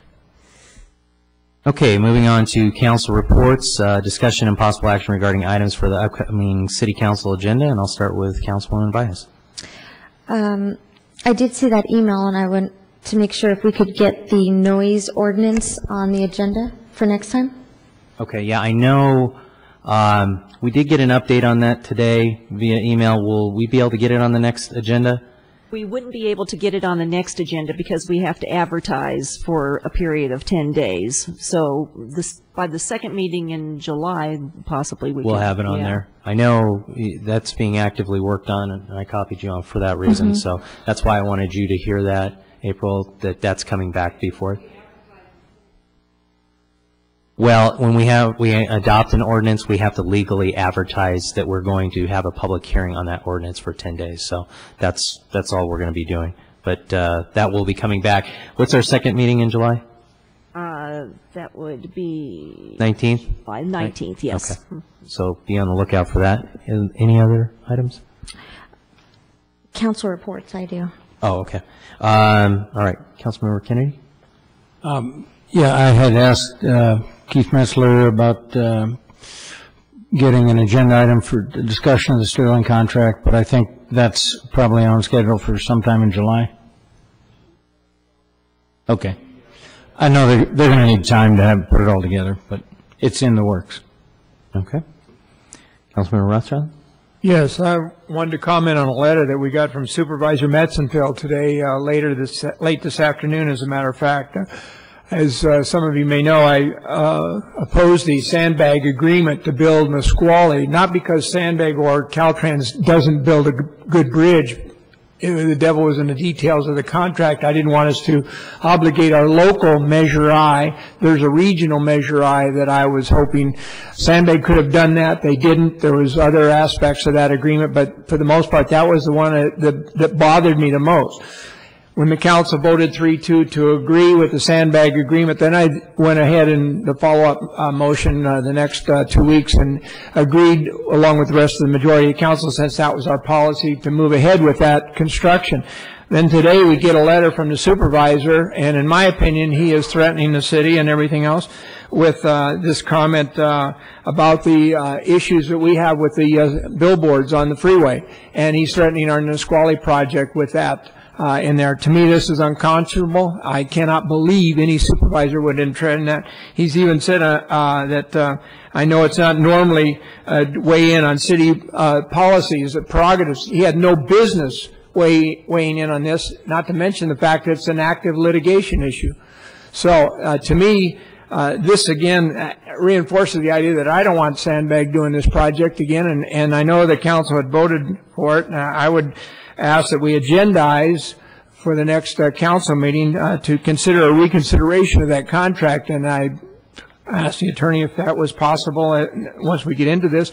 And it- it is possible to go ahead and stop that contract and go back to the way we had it before, where we would do our own work. We, all of our city engineers are teed up for this in the first place. Uh, So I would ask that uh, the council approve agendizing uh, reconsideration of the SANBAG contract to build the Nisqualli Energy. This is incredible. Uh, This threat uh, to the city uh, over something that is totally parochial to us, has nothing to do with the Nisqualli interchange, and he's threatening us. What else are they going to do along the next two or three years of, of this construction project? This is, this is beyond, beyond the pale. So that's my motion. Oh, wait a minute, that's it for the n- other, the other item, right? You're asking for that to be agenda. Yeah, that's the next item. That's my comments from the letter, and then my motion will be on the next item. I'll say I absolutely agree with your take on the letter, but I'm absolutely opposed to re-agendizing the, the uh, project. I am as well. Okay, I'm good. All right, any other items uh, that you want to add, um, Councilmember Rothschild?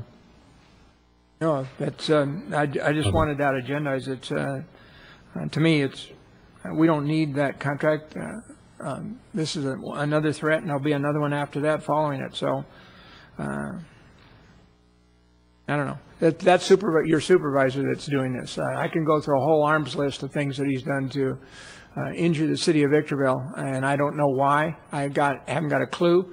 Uh, But when he's up for reelection, I assure you, um, I'll be one of them standing out there making that list very evident, self-evident to the rest of the community, uh, what's going on. But he's not representing the city of Victorville, that much I can assure you. All right, uh, anything else to add under council member reports? Mr. Rothschild? No. No? Mr. Kennedy? No. Valles? Okay.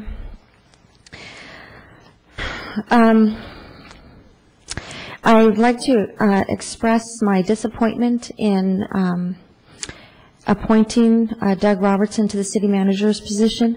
I feel that the city owes it to the people to recruit, not only to be an equal opportunity employer, but the management that we've had over the past several years have helped get us into where we're at. They make the recommendations to the city council for us to approve. we rely on the information that is presented here at City Council. Now, I wasn't on council for the last few years, just got on, but from my experience with the management and the leadership here, I have not received accurate information. I'm not pleased with the budget. I feel that it's omitting pertinent information as, as far as cash flow balances. On funds, on fund basis, simple information that I've asked for. I know a lot of you have read the letters that I've, I've put out for, for the city, and I still don't receive the information. And I would like to support these recommendations that are coming before us, and, and you can see that I vote no, no, no, almost on a consistent basis. And I feel that I owe you uh, an explanation, but not one every single time, otherwise we would be here past midnight. But understand and know that I'm not comfortable with the competence level of our management and our leadership here at the city. And I'm not comfortable in history repeating itself. So when you see those no, no votes, know that I have read it. I do understand.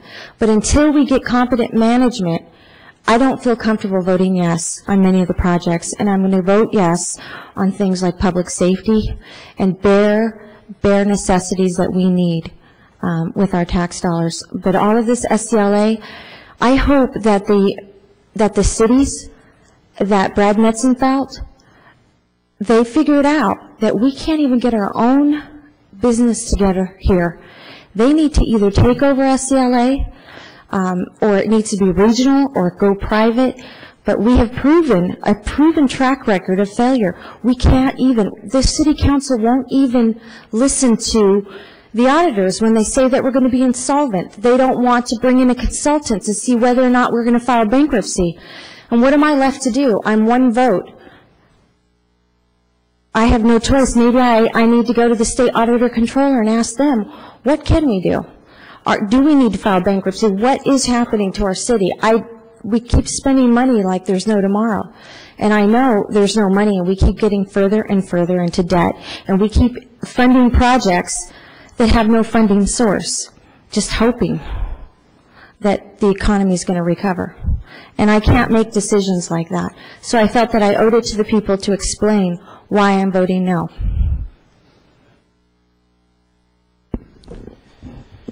Okay, um, under uh, items to add to the agenda, I think that uh, one of the items that I uh, wanted to add was Councilmember Valles is uh, consistently asked to recuse herself by our city attorney on items that are somewhat related to uh, sewer and water, and um, I'd like the council to agendize on its next agenda that she only needs to recuse herself on items that deal with VVWRA directly. Um, I think that we're overstepping here, and it's, it's getting to a point where it doesn't make any sense. So I, I'd like to at least have the council have that discussion on whether or not she really needs to recuse herself on those items that are not directly re- related to VVWRA. If you want, I could address that briefly right now. I mean, ultimately, it would be incumbent upon the council member to make that decision. It's a common law bias potential and a perception of bias, and I can't recommend that she not recuse herself on those issues. I think it's appropriate if she's got any question or doubt that she recuse herself, just to avoid any appearance of bias. FPPC has ruled on it, and they don't find any conflict of interest, but that's only under FPPC analysis. Uh, For common law bias issues and conflicts of interest, it goes down to AG interpretations. They're very fact-specific, and ultimately, she'd be the person suffering the consequences if she was deemed to have a conflict. I'm not in favor of agendizing that because I don't think I'm qualified to make that judgment as a council member. That, it is her call to make. And with advice of council, it's Well- not for us to decide on. Uh, You know, I, and I appreciate that Ryan br- brings it up, because a lot of times when I do leave the room, I feel like I'm taking the easy way out, or people are going to think that I am, but I want to make sure that even if it's, the FPPC, I, I pushed to get this legal opinion, and it came back that I work at a sewer plant. I make the same amount of money no matter how many people flush their toilets. So there's no real bias or conflict there that they ruled. But then the attorney brings this other thing that, you know, it, it could go to a higher authority, the attorney general, and it has to be specific. And I just, you know, I, I feel bad stepping out of the room because I think, you know, there may, may come a time where I need to be in here for the people. And I can't, or I won't.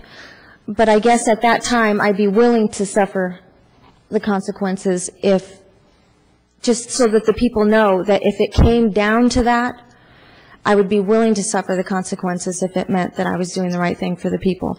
But in the meantime, for perception alone, I'll step out of the room. Okay, so then I guess we don't need to agendize it, but I, I wanted to at least uh, bring that up because I know that uh, you've expressed some frustration with respect to that. Um, With respect to comments made regarding the competency of our management and staff, um, you know, we're, we're in some difficult times, we're in some difficult situations, and we could not afford to have someone come in and take 12 to 24 months to get up to speed on all those issues that we have before us. And I think the council made the right decision tonight in, mo- in moving forward with Doug Robertson. Um, perhaps once we get all these issues behind us and Doug decides to move on, maybe we'll be in a position um, to, to go out and bring someone new in. But uh, for at least my part, I think uh, what the council did here tonight uh, was the appropriate move, and I just would like to congratulate uh, Mr. Robertson uh, as he'll be taking his new role come July 1st. So that's all I have. With that, we are adjourned.